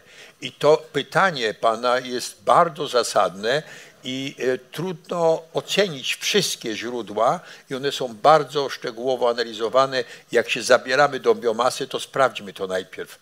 Na pewno na, e, przekształcenie na biogaz jest raczej bezpieczne bo to można oczywiście, nie tylko odpady, ale biomasę można również zamienić na biogaz. Dokładnie i tym zajmuje się, albo też o tym dużo mówi pan Henryk Majszak, e, zajmował się też sieciami stabilizowaniem odnawialnych źródeł energii kilka lat temu, kiedy jeszcze nie było o nich tak bardzo, bardzo głośno, ale e, pan prezes o nich rozmawiał także na łamach mojego portalu e, i w tym kontekście chciałem zapytać właśnie o biogaz, biomasę, czyli ten temat, który już tutaj zaczęliśmy. Jakie jest pana spojrzenie i jaki jest potencjał z punktu widzenia wsi polskiej? Dziękuję. Ja może zacznę od tego, że jak studujemy te ogólne przepisy unijne, o których tutaj dużo mówimy, to mnie dwa punkty dotykają, i które chcę zaakcentować. Otóż pierwsze, że w modelu Europejskiego Zielonego Ładu mówi się o równowadze środowiska, człowieka i ekonomii. I o tym nie możemy zapominać. I drugi, druga taka myśl, która też przewodnia jest w tym procesie, otóż jeśli chcemy osiągnąć cele takiej transformacji energetycznej, e, osiągając neutralność klimatyczną w 2050 roku, co będzie wyzwaniem dla społeczności świata, to musimy pomyśleć o wszystkich sektorach gospodarki. I ta dyskusja, której się przysłuchujemy uważnie, ona pokazuje, że nie da się dokonać tej transformacji bez sektora bez udziału wszystkich sektorów całej gospodarki, szeroko rozumiany. I niech to będzie kanwą do naszej dyskusji. A wracając do, e, do biogazowni, jeszcze chciałem powiedzieć, że w 1988 roku miałem okazję prowadzić ruch elektrowni Bełchatów, będącej e, Węglowej dyżurnym ruchu. W centrum Polski, tak. Potem miałem okazję budować najnowocześniejszy blok węglowy w Europie, w elektrowni Opole bloki 5-6, których sprawność jest dwukrotnie wyższa od średnich bloków węglowych w Polsce. Potem pisałem prawo energetyczne, potem budowałem te sieci, o których jest mowa. I mówię e, Państwu o tym dlatego, że chciałbym w tym kontekście powiedzieć o biogazowniach. A dzisiaj buduję biogazownię i w ciągu ostatnich dwóch lat zbudowaliśmy swoim zespołem kilkunastoosobowym 10 obiektów, kolejne 10 budujemy. Zapraszam wszystkich, którzy chcieliby zobaczyć biogazownię współczesną, bo tutaj często biogazownia to jest postrzegana jako taka prosta instalacja do przerabiania gnojowicy na prąd. A to jest sztuczna inteligencja, panie profesorze. I zaraz o tym powiem w tych słowach. Jeśli państwo chcecie zobaczyć, zapraszam pod Warszawą, pół godziny jazdy w Zawadach. Umówimy się. Zawadach zapraszam każdego, zostawię swój kontakt, poprowadzę po biogazowni. Substrat wchodzi od kilkudziesięciu dostawców. My nie używamy substratów, tak jak to wcześniej było kukurydze, które konkurują z rynkiem żywności, to nie ma sensu. 100% waste to energy. Odpady z przemysłu rolno-spożywczego. Mogę, lista jest olbrzymia. Przy okazji chcę bardzo podziękować dyrekcji Kowru. Świetnie się z Kowrem pracuje, bo my każdego dnia myślimy, jak powiększyć tą listę, żeby zachować tą równowagę między środowiskiem, człowiekiem a gospodarką, od której zacząłem. I to nam idzie. Ten substrat wchodzi na wagę bezobsługową, elektroniczną i zintegrowany z BDO, czyli z tym systemem ewidencjonowania odpadów, a potem następuje dawkowanie tego substratu do procesu. Tym zarządza sztuczna inteligencja. Mamy Smart Biogas Plant, tak nazwaliśmy ten produkt, nad którym pracujemy 3 lata. I biotechnolodzy, informatycy, automatycy, bo tam są te trzy komponenty, dobierają skład, tak żeby zachować stabilność procesu biotechnologicznego i produkcji biomasy biogazu. E, w kolejnym kroku oczywiście następuje produkcja biogazu, oczyszczenie i produkcja energii elektrycznej. Energia elektryczna idzie do sieci. No i tu mamy problemy. Proszę Państwa, jedna z naszych biogazowni zakończyła rok próbny w zeszłym tygodniu o mocy 1 MW i wyprowadzić możemy 0,8. System nie stać na to, żeby wziąć 200 kW. To jest ten sam problem, co z odnawialnymi źródłami takimi. Pokazuję tylko, że w PSE, kiedy miałem przyjemność zarządzać tą firmą, wydawaliśmy rocznie 2 miliardy złotych na rozwój sieci przesyłowych. Rocznie 2 miliardy. Na to, żeby podpiąć te 3000 MW farmach wiatrowych. Bo lista oczekujących była olbrzymia, nie było warunków technicznych. Dzisiaj ten proces powinien być kontrolowany, ale przede wszystkim mamy problem z sieciami dystrybucyjnymi na poziomie wiejskim. Biogazownia wyprodukuje moc 1 MW na poziomie 0,4 kV. To jest siła w domu, w naszym garażu. Potem oczywiście podnosi napięcie na 15 kV przez te na średnie napięcie i tu zaczynają się problemy. W wielu miejscach działa, ale w większości nie działa. Odbiory toczą się e, miesiącami, występują liczne problemy i dzisiaj uważam, że barierą rozwoju biogazowni w Polsce jest brak dostępu do sieci dystrybucyjnej. I to dotyczy również fotowoltaiki, o której była mowa. Biogazownie tutaj y, y, biją brawo z sali, ale chciałem dopytać właśnie, bo też prezes e, Michalski mówił, że jest mało tych wniosków, prawda? To właśnie dlatego, że są te bariery? E, zaraz może przejdę cały proces i pokażę, bo to jest proces okay. mega złożony. Tak? Później wytwarzamy ciepło. Proszę Państwa, ciepło. Ja jestem fanem y, pompy ciepła, bo ją eksploatuję 10 lat w swoim, w swoim domu. E, no ale jak weźmiemy 700 zł za, kilo, za megawattogodzinę w gospodarstwie domowym, podzielimy przez, dla uściślenia jednostek przez 3,6, tyle z megawattogodzin na gigajoule, potem przez współczynnik sprawności COP pompy 3,5, dochodzimy do 70 zł za gigajoule. 70 zł za gigajoule to jest drogie ciepło. Tu się z panem zgadzam. Ale ja mam tanie w domu, bo wyszarpałem dystrybutorowi taryfę wielostrefową, zanim się zorientował, że zrobił błąd, to już nie mógł się wycofać. Czekam, kiedy się wycofa. Ja mam pompę ciepła, którą gonię całą noc. Tam jest cena trzy razy ciepła, y, trzy razy niższa. Można y, poprzez sterowniki w pompie ciepła, tak są zbudowane, ustawić je tak, że ciepło jest po 25-30 zł. Ale do tego trzeba zmienić system taryf y, na energię elektryczną w Polsce. Taryfy dynamiczne są niezbędne. Dzisiaj taryfy płaskie nie mają racji bytu. Mamy energię elektryczną, mamy własne sieci dystrybucyjne, swoje budujemy, mikrosieci i odbiorcy energii lokalni przychodzą do nas, mówią zasilcie nas z tych sieci, z biogazowni. Eliminujemy duże koszty przesyłu i dystrybucji i w ten sposób zasilamy odbiorców. Mamy fabryki lokalne, które produkują okna w jednej z lokalizacji, w innej mamy duże kurniki, tam jest parę tysięcy indyków, to, to chyba nie kurniki, tylko indyczniki. Indyczniki, dziękuję za to wsparcie. Mamy też przykłady, że zasilamy sąsiada, ale nie możemy na Boga zasilać, zasilić wioski, która jest odległa o kilometr. Dlaczego? Bo w rachunku NPV z dyskontem minimalnym nie jesteśmy w stanie sfinansować kilometra sieci ciepłowniczej. Gorący ukłon w kierunku prezesa Narodowego Funduszu, żeby to przeliczyć. Wspólnie możemy pokazać modele, bo nasze ciepło jest sprzedawane tam, gdzie możemy po 20 zł za gigajoule. Jeżeli ktoś wskaże kogoś, kto sprzedaje taniej, to my obniżymy natychmiast cenę. I to jest y, postulat. Y, Zanim y, oddam głos znowu panu prezesowi, jeszcze dwa słowa z NFOŚ i GW na, na temat tego zjawiska. Może uzupełni pan prezes Michalski trochę perspektywę. No generalnie rzecz biorąc, kwestia wchodzi, wchodzi, wchodzimy już w tematy pomocy publicznej. Czy będziemy mogli jako, jako no, instytucja udzielająca pomocy publicznej to, to dofinansować w taki sposób? Bo oczywiście oferujemy na te biogazownie, które tutaj będą ogłaszane, te, ale to niskiej mocy, bo to mówimy o maksymalnie pół megawata do 500 kW, to co będzie, to co jest w agroenergii. Y, Natomiast większe, no to już wchodzimy w programy pomocowe no, innego rodzaju, tak? Czyli, czyli nie, zazwyczaj ze środków unijnych były te, te, te większe biogazownie finansowane i tam one, no wiadomo, no, notyfikacja jest, jak, jak w programach unijnych to jest dotacja, określona pomoc publiczna, zgodnie z mapą pomocy publicznej jest, jest, jest szansa. Natomiast tutaj, no to y, faktycznie chyba trzeba się będzie umówić z panem profesorem, panem prezesem i, i porozmawiać o tym. Ja jestem bardzo otwarty, bo my, my na tą chwilę w programie Energia Plus to tylko jest finansowanie tak naprawdę zwrotne. Czyli dla tych większych biogazowni finansowanie zwrotne yy, z komponentem dotacyjnym czy tam umorzeniowym w wysokości maksymalnie 10%, nie więcej niż milion złotych.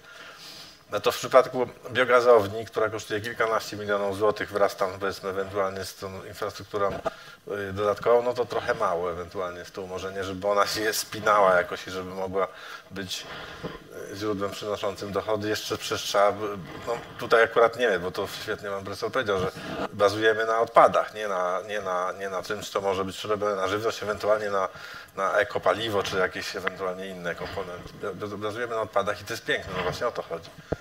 Jeszcze z tego będzie świetny nawóz. no Wracając do, do rurociągów, tak, ten proces jeszcze biegnie. Tak. E, e, Wracając do rurociągów, oczywiście jest to pomoc publiczna, ale ta pomoc publiczna dzieli się na dozwoloną i niedozwoloną. Ja mówię o dozwolonej i, i beneficjentem tej pomocy mogą być mieszkańcy samorządy.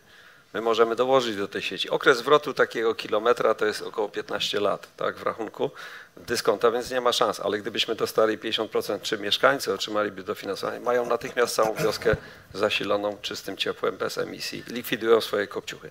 Oprócz ciepła produkujemy biogaz, który można oczyszczać. My dzisiaj mamy ciekawy projekt unijny z Narodowym Funduszem, z PIMOT-em, Polskim Instytutem Motoryzacji i z Politechniką Warszawską, który pozwala spalać w, w pojazdach mechanicznych biogaz. Biogaz nie oczyszczony do biometanu, tylko biogaz oczyszczony z siarkowodoru i wilgoci. Jest to doskonale zrównoważone paliwo, które bez eliminacji CO2 może być skutecznie e, używane w, w rolnictwie lokalnie. Tak. Takie programy też się dzieją. Oczywiście e, i, wreszcie dochodzę do, do nawozu. Powstaje produkt pofermentacyjny. Tu mamy niesamowite schody z tym procesem. E, Po pierwsze, cały proces odzysku metodą R10 jest bardzo skomplikowany. Ja tego oczywiście nie będę rozwijał, mówiąc o tym, że trzeba przeprowadzić szereg badań, które są zupełnie, wynikają z przepisów, a są nieuzasadnione. Mamy bardzo dobrą współpracę z środowiskiem specjalistów z rolnictwa, którzy pokazują nam, jaka jest dobra praktyka rolnicza. Te przepisy niestety, nie nadążają za rozwojem tej branży. No i co zrobiliśmy, żeby się nie rozwodzić? Po prostu rozpisaliśmy na 20 stronach y, problemy, opis ich rozwiązań i w najbliższych dniach, y, jeśli Państwo też będziecie zainteresowani, jestem gotowy to przekazać, gdzie pokazujemy, że praktyka rolnicza mówi o badaniu metali ciężkich w glebie w okresach czteroletnich, a my mamy przed każdym wylaniem po fermentu. To jest po prostu nonsens, niezwykle kosztowny. Jest to realna blokada rozwoju biogazowni. No i wreszcie biogazownie to mogą być usługi systemowe. Bo biogazownia pracuje stabilnie. Chwalimy ją, że to jest stabilne źródło, tak? Ale wystarczy dostawić jeden cechab niedużej mocy poczekać na szczyt i wprowadzić nadwyżkę biogazu, który jest przecież magazynowany w kopułach, bo to są naturalne magazyny energii, i wprowadzić na 3-4 godziny. Nie musimy budować tysięcy megawatów w blokach szczytowych gazowych, które kosztują miliardy, bo przecież one są używane niezwykle rzadko, nigdy się nie zwrócą. Są to koszty, które trafiają jak zawsze do odbiorcy. Wystarczy wprowadzić usługę systemową. Więc ja to tylko sygnalizuję, że usługi systemowe są dzisiaj, kiedy energetyka cofa się w kierunku energetyki rozproszonej, powszechnym narzędziem możliwym do wykorzystania do stabilizacji systemu. I nieprawdą jest, że tylko du duże bloki energetyczne mogą pełnić tą funkcję, bo dzisiaj w erze przekształtników dostępnych narzędzi energoelektroniki Możemy wszystkim sterować i to sterować zdalnie. Dzisiaj operujemy całą infrastrukturą w infrastrukturze chmurowej. Każdy z nas ma w smartfonie na pewno malutką instalację, którą ściąga z aplikacji darmowej i steruje sobie w domu oświetleniem. To wszystko odbywa się w tych technologiach, które są dostępne. Możemy tym samym sterować, jeśli chodzi o biogazownię. A więc biogazownia może być źródłem mocy szczytowej, regulacji napięcia i mocy biernej w systemie. To też chciałem podkreślić. Więc walorów wykorzystania tej, tej technologii jest bardzo wiele i uważam, że może nie da się w Polsce zbudować 2,5-3 tysięcy biogazowni, jak, jak to kiedyś dyskutowano, ale na pewno można zbudować kilkaset. Myślę, że oczywiście bazując cały czas na technologii odpadowej, która wpisuje się w ten zrównoważony rozwój gospodarki energetycznej i myślę, że y, zidentyfikowanie barier i znalezienie rozwiązań, pełna transformacja do bieżącego prawa to jest rozwiązanie, które które ja osobiście promuję we wszystkich y, kwestiach, które dotyczą rozwoju elektroenergetyki. Powiedzmy, co nas blokuje. Jeden malutki przykład, ostatni już. Pan z, pewną, z pewnym żalem powiedział, że nie może mieć swojej fotowoltaiki, bo mieszka w bloku. Tak? Ale przecież y, Litwini na przykład, bo miałem okazję rozmawiać z firmą energetyczną na Litwie, z funduszem litewskim, Litwinie uruchomili instytucję tak zwanego wirtualnego prosumenta. A wirtualny prosument to jest ktoś, kto wyjmuje prywatne kieszenie i w miejscu oddalonym od swojego mieszkania inwestuje w fotowoltaikę, też parę tysięcy złotych, bo on jest tylko częścią jakiejś większej farmy i staje się beneficjentem tej energii elektrycznej, tak jakby była to energia przyłączona do jego punktu poboru energii powszechna instytucja. U nas nie zaimplementowano jeszcze tej instytucji. Ja wierzę, że tak się stanie i każdy z nas będzie mógł wydać parę złotych i być beneficjentem zielonej energii, rozwijając ją. Bardziej pośrednio. Tak. E, to bardzo ważne postulaty e, i ciekawe spostrzeżenia na temat e, tego, jak można wykorzystać te technologie. Jeszcze proszę o dwa zdania na ten temat Istwana Kulmaniego z Instytutu Ekonomiki Rolnictwa. Widziałem, że pan wydawał się zgadzać z tym, co słyszeliśmy tutaj od prezesa Majchrzaka.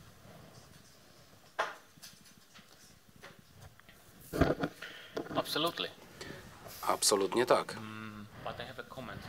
Ale mam komentarz, uwagi dotyczące użycia biomasy.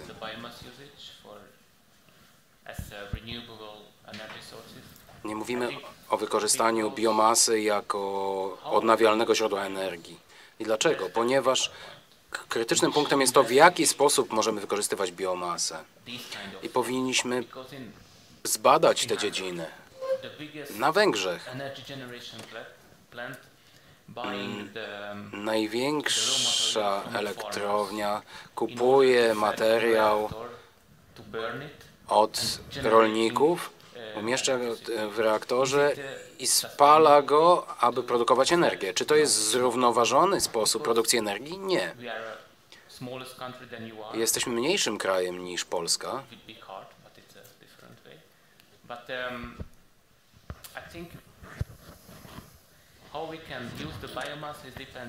To, w jaki sposób możemy wykorzystywać biomasę, zależy od kraju. W przypadku Węgier wykorzystanie biomasy w ciągu ostatnich 10 lat spadło znacząco, o ponad 35% od roku 2010 do roku 2020 o 35%. To jest znaczący spadek, ponieważ nie jesteśmy w stanie wprowadzić systemu pozwalającego na zrównoważone wykorzystanie biomasy.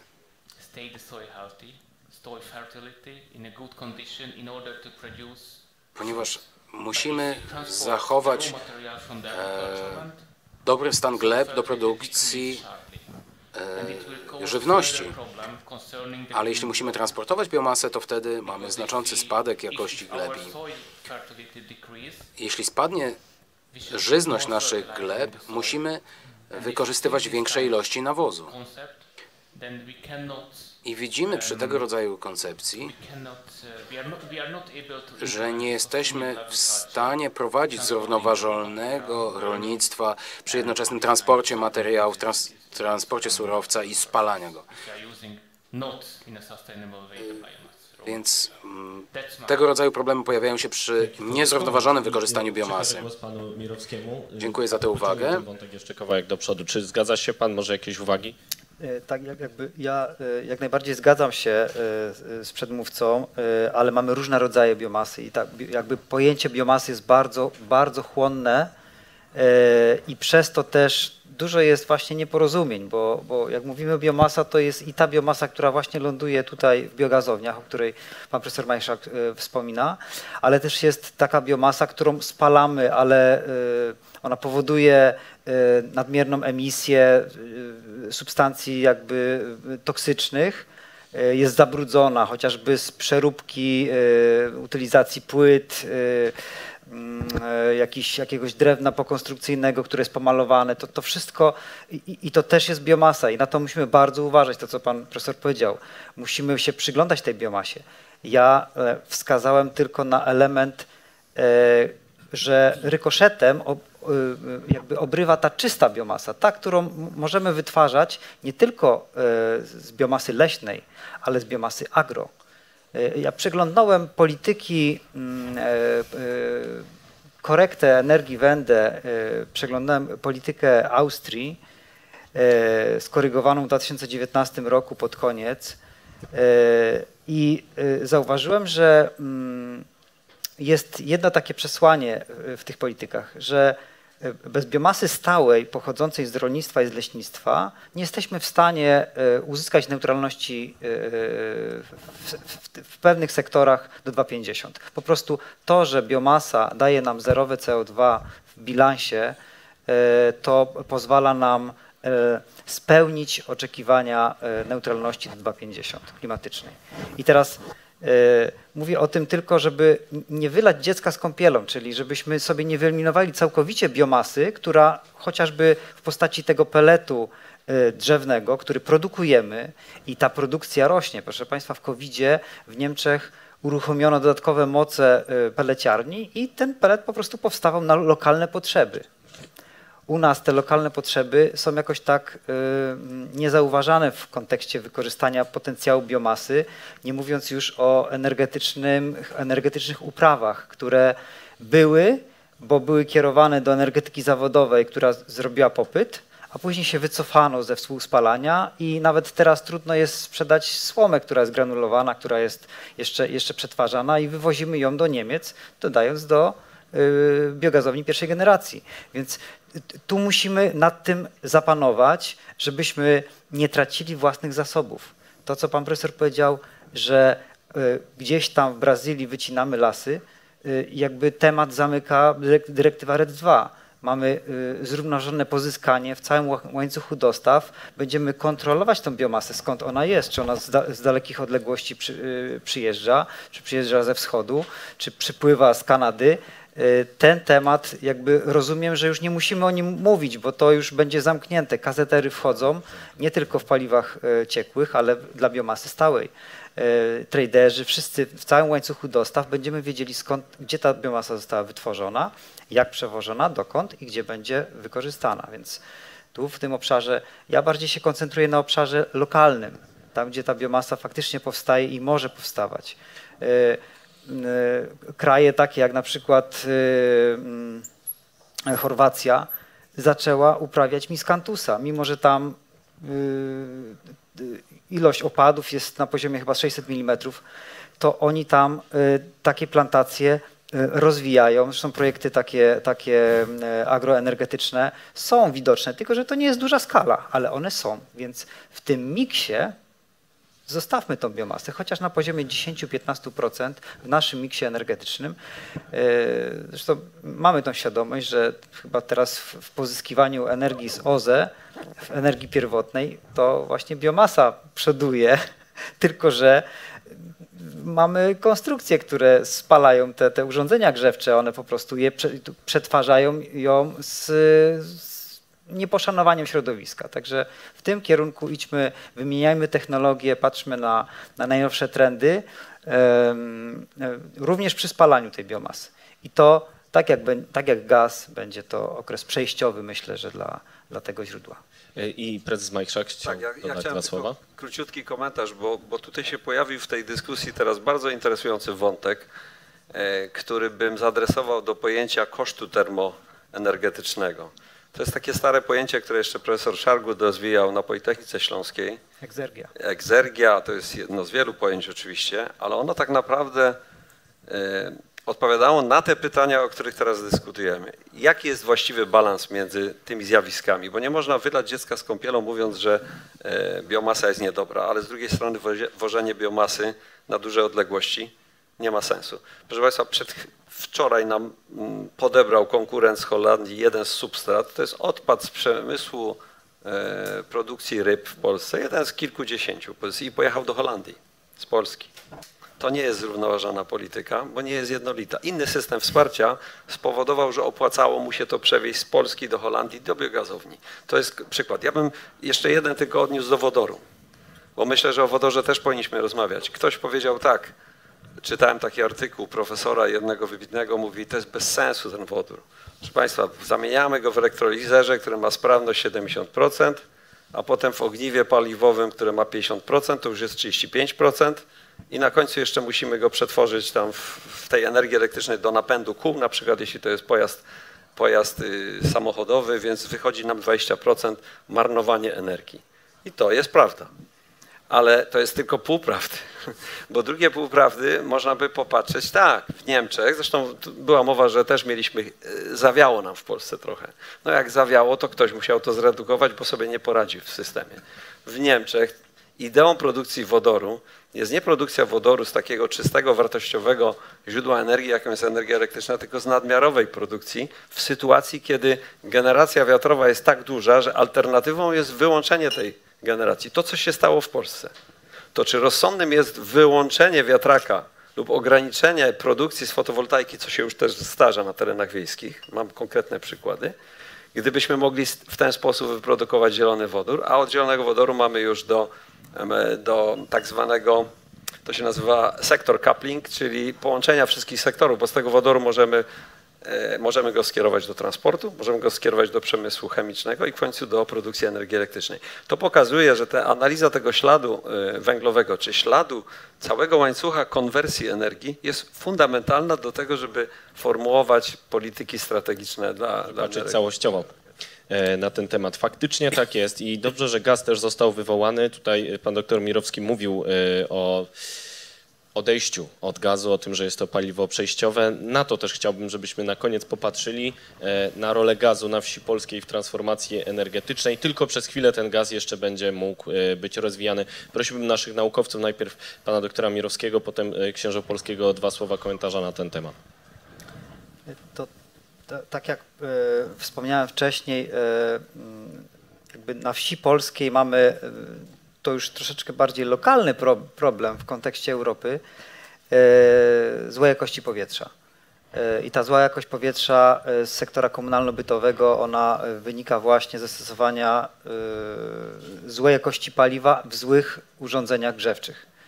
E, gdzie również spotykamy to, że, że, że, że spalają, są, spalane odpady. E, w ogóle sposób, sposób palenia teraz e, zmienił się, gdzie kiedyś ten, ten kocioł był rozgrzany i tam były dobre warunki spalania, więc nie było takiego problemu niskiej emisji, a teraz wygaszanie tego kotła, bo, bo nie ma domowników i później rozpalanie go w godzinach późno popołudniowych powodują właśnie te takie piki e, smogowe, e, które są bardzo groźne i które przez warunki klimatyczne i jakieś tam lokalne e, zalegają chociażby w Krakowie. I mamy świadomość tego, że bez gazu tutaj nie, nie przejdziemy w krótkim czasie e, tej transformacji w sektorze e, gospodarstw domowych i, w rolnictwie, żeby odejść od konstrukcji, starych konstrukcji węglowych i spalania węgla. Musimy włożyć tam gaz. Mm, ale e, jednocześnie nie jesteśmy zbilansowani, jeśli chodzi o chociażby właśnie CO2 i nie wiemy tak naprawdę i nie mamy strategii dla gazownictwa, która by jakoś jednoznacznie określiła, że e, możemy sobie w sektorze e, dystrybucji e, gazu do odbiorców indywidualnych pozwolić na tyle, a tyle, że powinniśmy sieci rozbudować w taki sposób i, i, nie więcej. Szczególnie, że właśnie wchodzą nam wszystkie klimatyczne obostrzenia związane z wprowadzaniem do sieci gazowych gazów zdekarbonizowanych. wprowadzanie biometanu. Jak już od, od dawna o tym mówiliśmy, jeśli popatrzymy na przedsiębiorstwa, które chciałyby, chciałyby zmniejszyć ślad węglowy i zakupić sobie zieloną energię, to z energii elektrycznej możemy skorzystać i zapłacić, poprosić, żebyśmy mieli na fakturze 100% zielonej energii. Tak, tak, tak, się dzieje, tak chociażby Kraków zrobił i ma e, administrację zasilaną i, i, i transport ma zasilany 100% z energii elektrycznej. Zakontraktowaliśmy na 3 lata, kupiliśmy zieloną energię, jesteśmy zieloni, prawda? E, natomiast w przypadku gazu nie możemy tego zrobić. Nie ma tego offsetu, który, który pozwala na, e, na zmniejszenie e, ilości mm, CO2 w tym nośniku, dlatego że nie mamy po prostu nie wiem, systemu, nie wiem, aukcji nie ma, stanęło to. Stąd też nie możemy iść tylko i wyłącznie w gaz, dlatego że jest to ryzyko, że po prostu nam się zwiększy w bilansie tak dużo CO2, że będziemy po prostu znowu e, mocno skarbonizowani. Odchodzimy od węgla wchodząc do, do gazu, i dalej mamy problemy z neutralnością klimatyczną. Dalej A dochodzą nie... emisje metanu, które też będą gdzieś w przyszłości mm, regulowane. Tak, no tutaj jest też problem przesyłania gazu na duże odległości i jednak mimo wszystko naukowcy pokazują na to, że, że ten transport e, i wydobycie i, i transport to też są dodatkowe emisje metanu, który, który, który jest pan profesor powiedział 10 razy, ja myślę, że nawet 44 razy e, groźniejszy niż CO2 i przelicza się go właśnie w taki sposób, więc w tym bilansie wypada to jeszcze gorzej. I głos e, doktora Księżopolskiego. Jak z tym gazem e, możemy sobie poradzić z punktu widzenia wsi polskiej? Ile mamy jeszcze czasu na gaz? Ja jestem bardziej radykalny niż, niż, niż mój kolega, bo ja uważam, że w ogóle to jest bez sensu korzystanie z gazu na wsi tak samo jak korzystanie z węgla. No, dzisiaj tutaj Państwo mówiliście szeroko o, o prawda, pelecie i, i, i, i, spalaniu. No to zobaczmy statystyki. Generalnie na wsi pali się drewnem lub wszystkim innym, czyli co jest pod ręką, czyli śmieciami też. I stąd też e, duży problem z, e, z, e, z jakością powietrza. Co do, co do węgla, tego 10 milionów ton, to ja myślę, że to jest mocno przesadzone, e, takie szacunki, e, że, że, tyle, że tyle, e, że tyle akurat, akurat na, na wsi, że tak powiem, jest, jest palone. W przypadku, w przypadku e, e, budynków jednorodzinnych, no to możemy, możemy dyskutować. Mi się wydaje, że biorąc pod uwagę kwestie finansowe, e, połączenie dwóch technologii, mianowicie e, e, instalacji fotowoltaicznej działającej w systemie prosumenckim i pompy ciepła przy sytuacji pogodowej w Polsce, gdzie macie Państwo najniższą temperaturę styczeń, luty, średnia to jest minus 2 stopnie, to naprawdę ten współczynnik sprawności pompy ciepła jest e, wystarczający. Mamy kwestię ciepła wtedy załatwioną e, kwestię jakości powietrza. W ogóle o tym nie rozmawiamy, tak?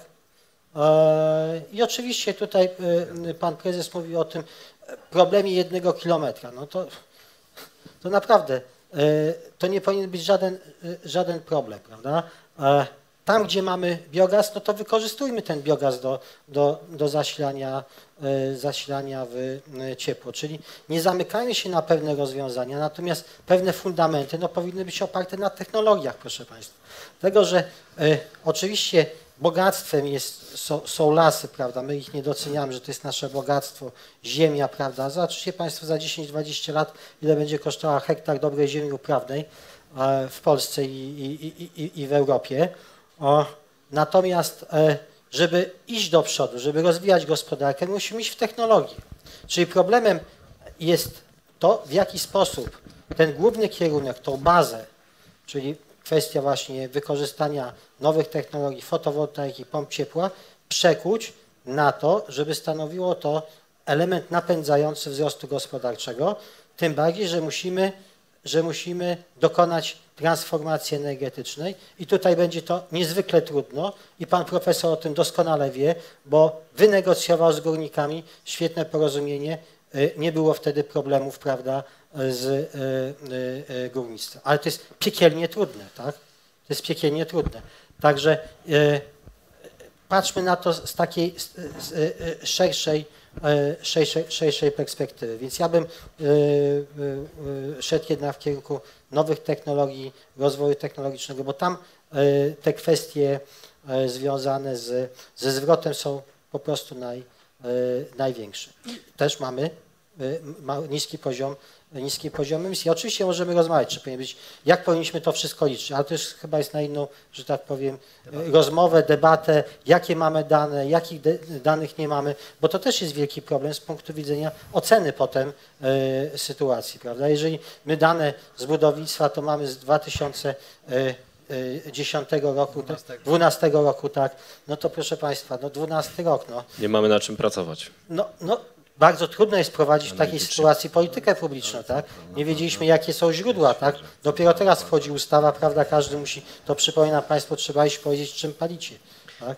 Tak, a więc y, to są problemy, y, wyzwania, ale jeszcze wracając na sekundę do gazu, usłyszeliśmy dwa komentarze, jeden bardziej, drugi mniej radykalny e, i chciałem uzupełnić ten e, punkt widzenia o głos z Węgier, o komentarz pana Wiktora Nać, który mógłby nam powiedzieć, jak państwo patrzą na rolę y, gazu w tym okresie przejściowym, jak długi powinien być i jakie jest miejsce dla niego na wsi.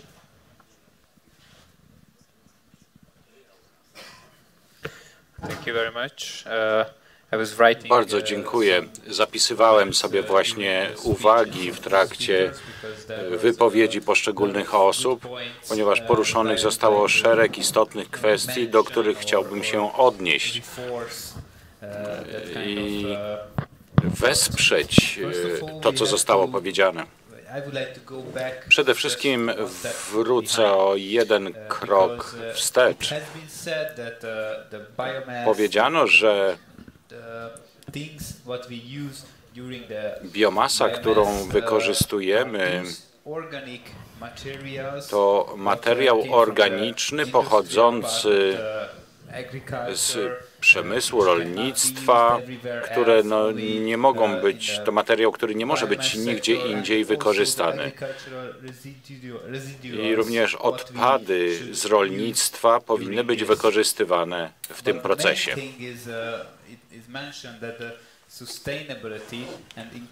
No i wspomina się tutaj w tym kontekście o zrównoważeniu. Zrównoważona gospodarka leśna odgrywa kluczową rolę w produkcji tego rodzaju materiałów, materiału, który może być wykorzystany do tego typu działalności. Wspomniano również różnego rodzaju aplikacje i technologie cyfrowe, które odgrywają kluczową rolę w przypadku tego procesu. Rzeczywiście precyzyjne rolnictwo i technologie cyfrowe powinny być wspierane, powinniśmy większy nacisk na nie położyć. W przypadku Węgier zaczynamy właśnie wspierać e, tego rodzaju precyzyjne rolnictwo, dedykowane rolnictwo i zobaczymy, jakie będą wyniki. Tego rodzaju programy dopiero zaczynają się na Węgrzech, jeśli chodzi o właśnie precyzyjne rolnictwo, e, technologie cyfrowe.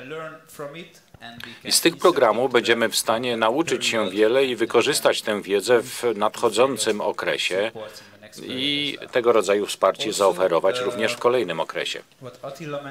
To, co Attila wspomniał, jeśli chodzi o leśnictwo. Bardzo ważną kwestią jest, że w przypadku Węgier y, operatorzy obszarów leśnych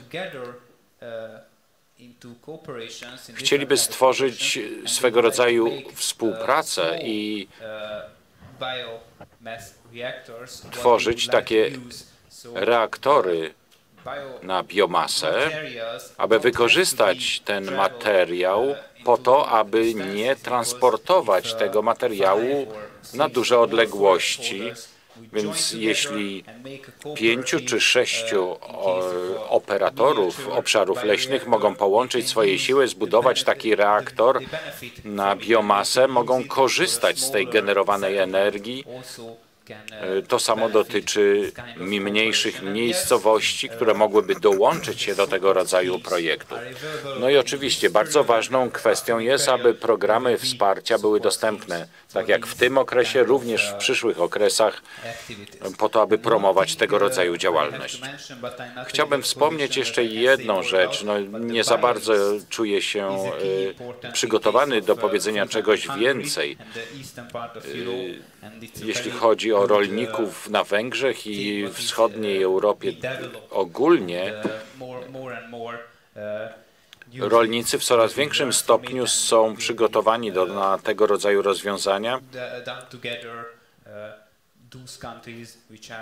i miejmy nadzieję, że właśnie w tych krajach tego rodzaju rozwój zauważymy. Sir, uh, natural gas in the transition period. Your answer odpowiedź, jeśli chodzi właśnie o y, gaz naturalny, gaz ziemny. Tak, rzeczywiście gaz ziemny odgrywa bardzo ważną rolę y, w tym rozwoju. Mamy sześć priorytetów, jeśli chodzi o rozwój obszarów wiejskich we wszystkich krajach. Piąty priorytet koncentruje się na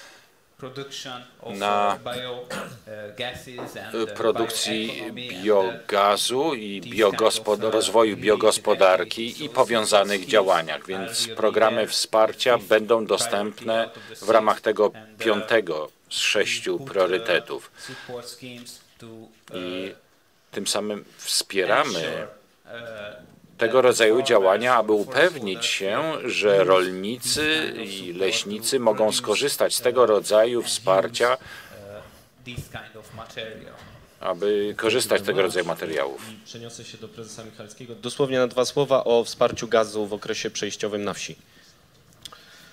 Generalnie właściwie to można powiedzieć, że w dniu no, pojutrzejszym, bo to będzie w poniedziałek, podpisujemy umowę z Polską Spółką Gazownictwa, nawet y, może nie umowę, list intencyjny czy porozumienie o, współ, o współpracy, o wspólnym działaniu w kierunku właśnie ugazownienia na ten okres przejściowy, bo to jak wiadomo y, powszechnie jest to nazywany gaz, jest nazywany paliwem przejściowym na ten okres transformacyjny, dopóki nie ogarniemy powiedzmy innych lepszych, odnawialnych i bardziej stabilnych źródeł energii.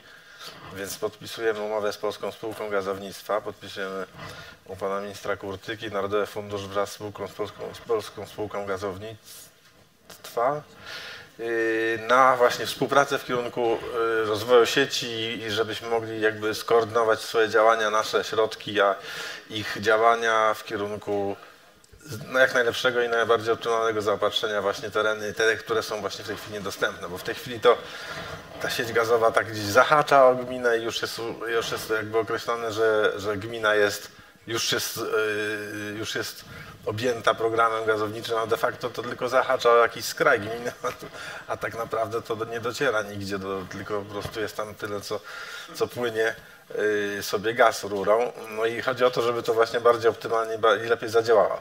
A z drugiej strony to y, wszelkie no, inicjatywy, no bo cóż można powiedzieć w tej chwili, generalnie rzecz biorąc ten gaz to bardziej wspieramy w tym okresie przejściowym w dużych przedsiębiorstwach ciepłowniczych. Zresztą z panem premierem, y, z panem profesorem Buskiem miałem nawet okazję uczestniczyć w Zresztą pan redaktor chyba też był w Międzyzdrojach na, na, na, na, na forum ciepłowników, gdzie była do, dosyć spora o tym mowa, ale to akurat ciepłownie terenów, ciepłownie tego rodzaju terenów wiejskich dotyczą w bardzo małym procencie, bo, to, bo chociaż oczywiście też wspieramy te ciepłownictwo powiatowe w mniejszych gminach, w mniejszych, w mniejszych miejscowościach, nawet na terenach wiejskich, o ile są takie możliwości. W każdym razie jest, jest to nasz, nasz również kierunek w tym okresie przejściowym, bo i tu jest właśnie ta rola środków krajowych, które właśnie Narodowy Fundusz Ochrony Środowiska i Gospodarki Wodnej wraz z wojewódzkimi funduszami tym naszym bankiem, wyspecjalizowanym Bankiem Ochrony Środowiska właśnie ogarnia.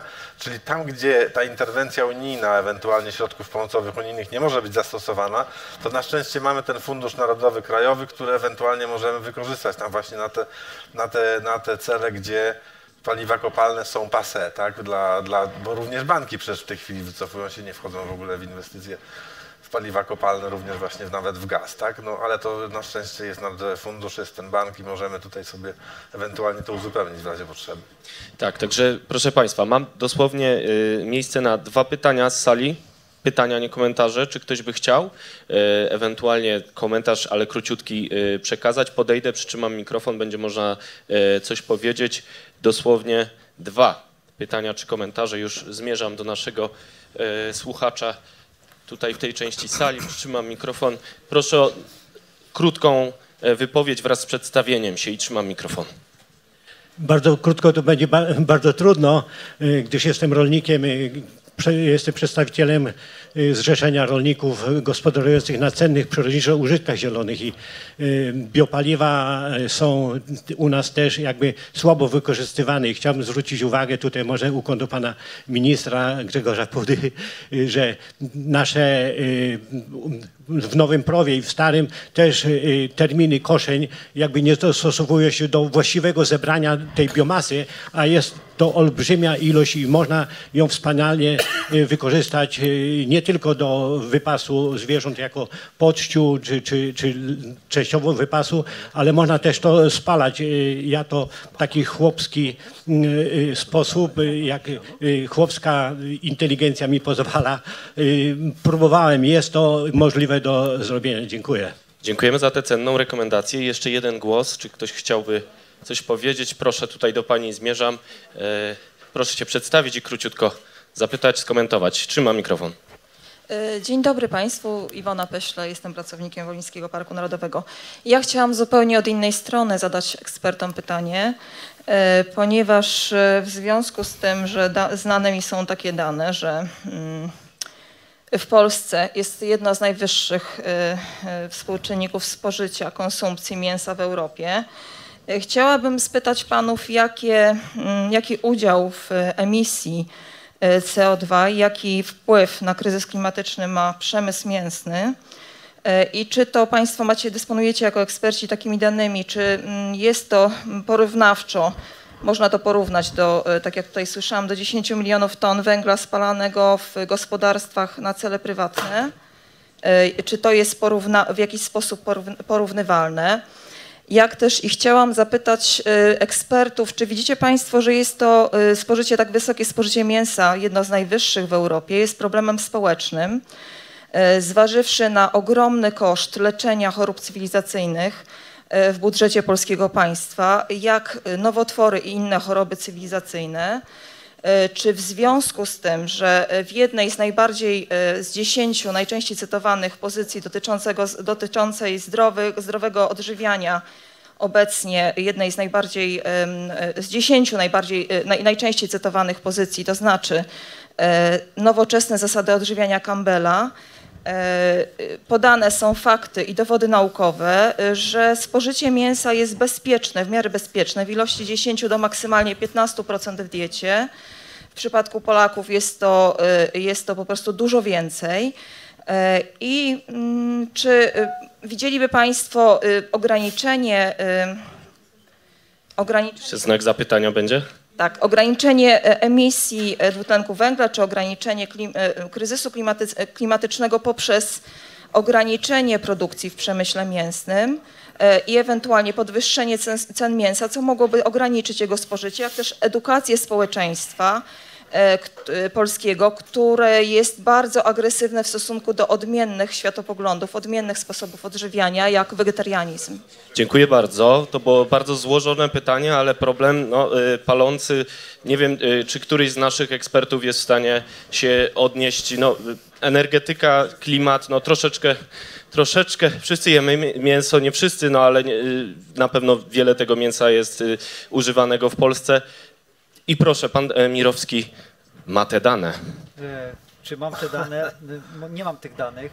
Natomiast ja e, wspominałem, e, że e, produkcja mięsa jest dosyć wysoko e, mm, obarczona wysokim śladem węglowym i to jest fakt e, światowy.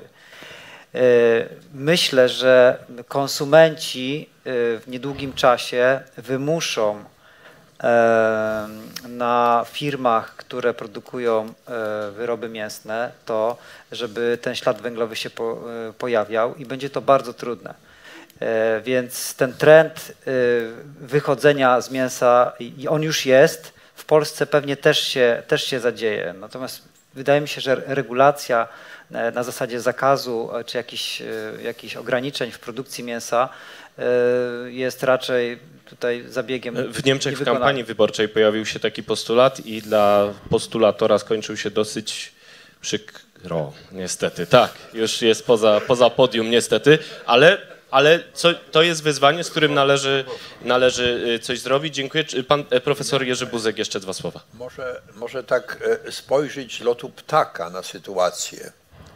75% emisji gazów cieplarnianych, mniej więcej, to jest energetyka wszędzie na świecie, bo transport to jest też energetyka, bo stosujemy takie czy inne paliwa, czyli źródła energii. Ogrzewanie to oczywiście jest energetyka, mimo że nazywa się inaczej. Wypalanie stali w przemyśle stalowym to jest energetyka, bo tam jest koks, potrzebne jest ciepło, nie tylko reduktor. Jak zastąpimy to wodorem, to jest daleka przyszłość. Ale niektóre działy to już nie jest energetyka. Takim działem na przykład jest produkcja wapna palonego, bo jak się produkuje z, z kamienia e, e, wapno palone, no to ucieka CO2 produkcja nawozów sztucznych to już nie jest tylko energetyka. Tam jest chemia. Po prostu jest CO2, pojawia się CO2. Tak jest z kilkoma przemysłami. I tak jest także w produkcji rolnej. 10% do tych 75% to są różnego rodzaju przemysły.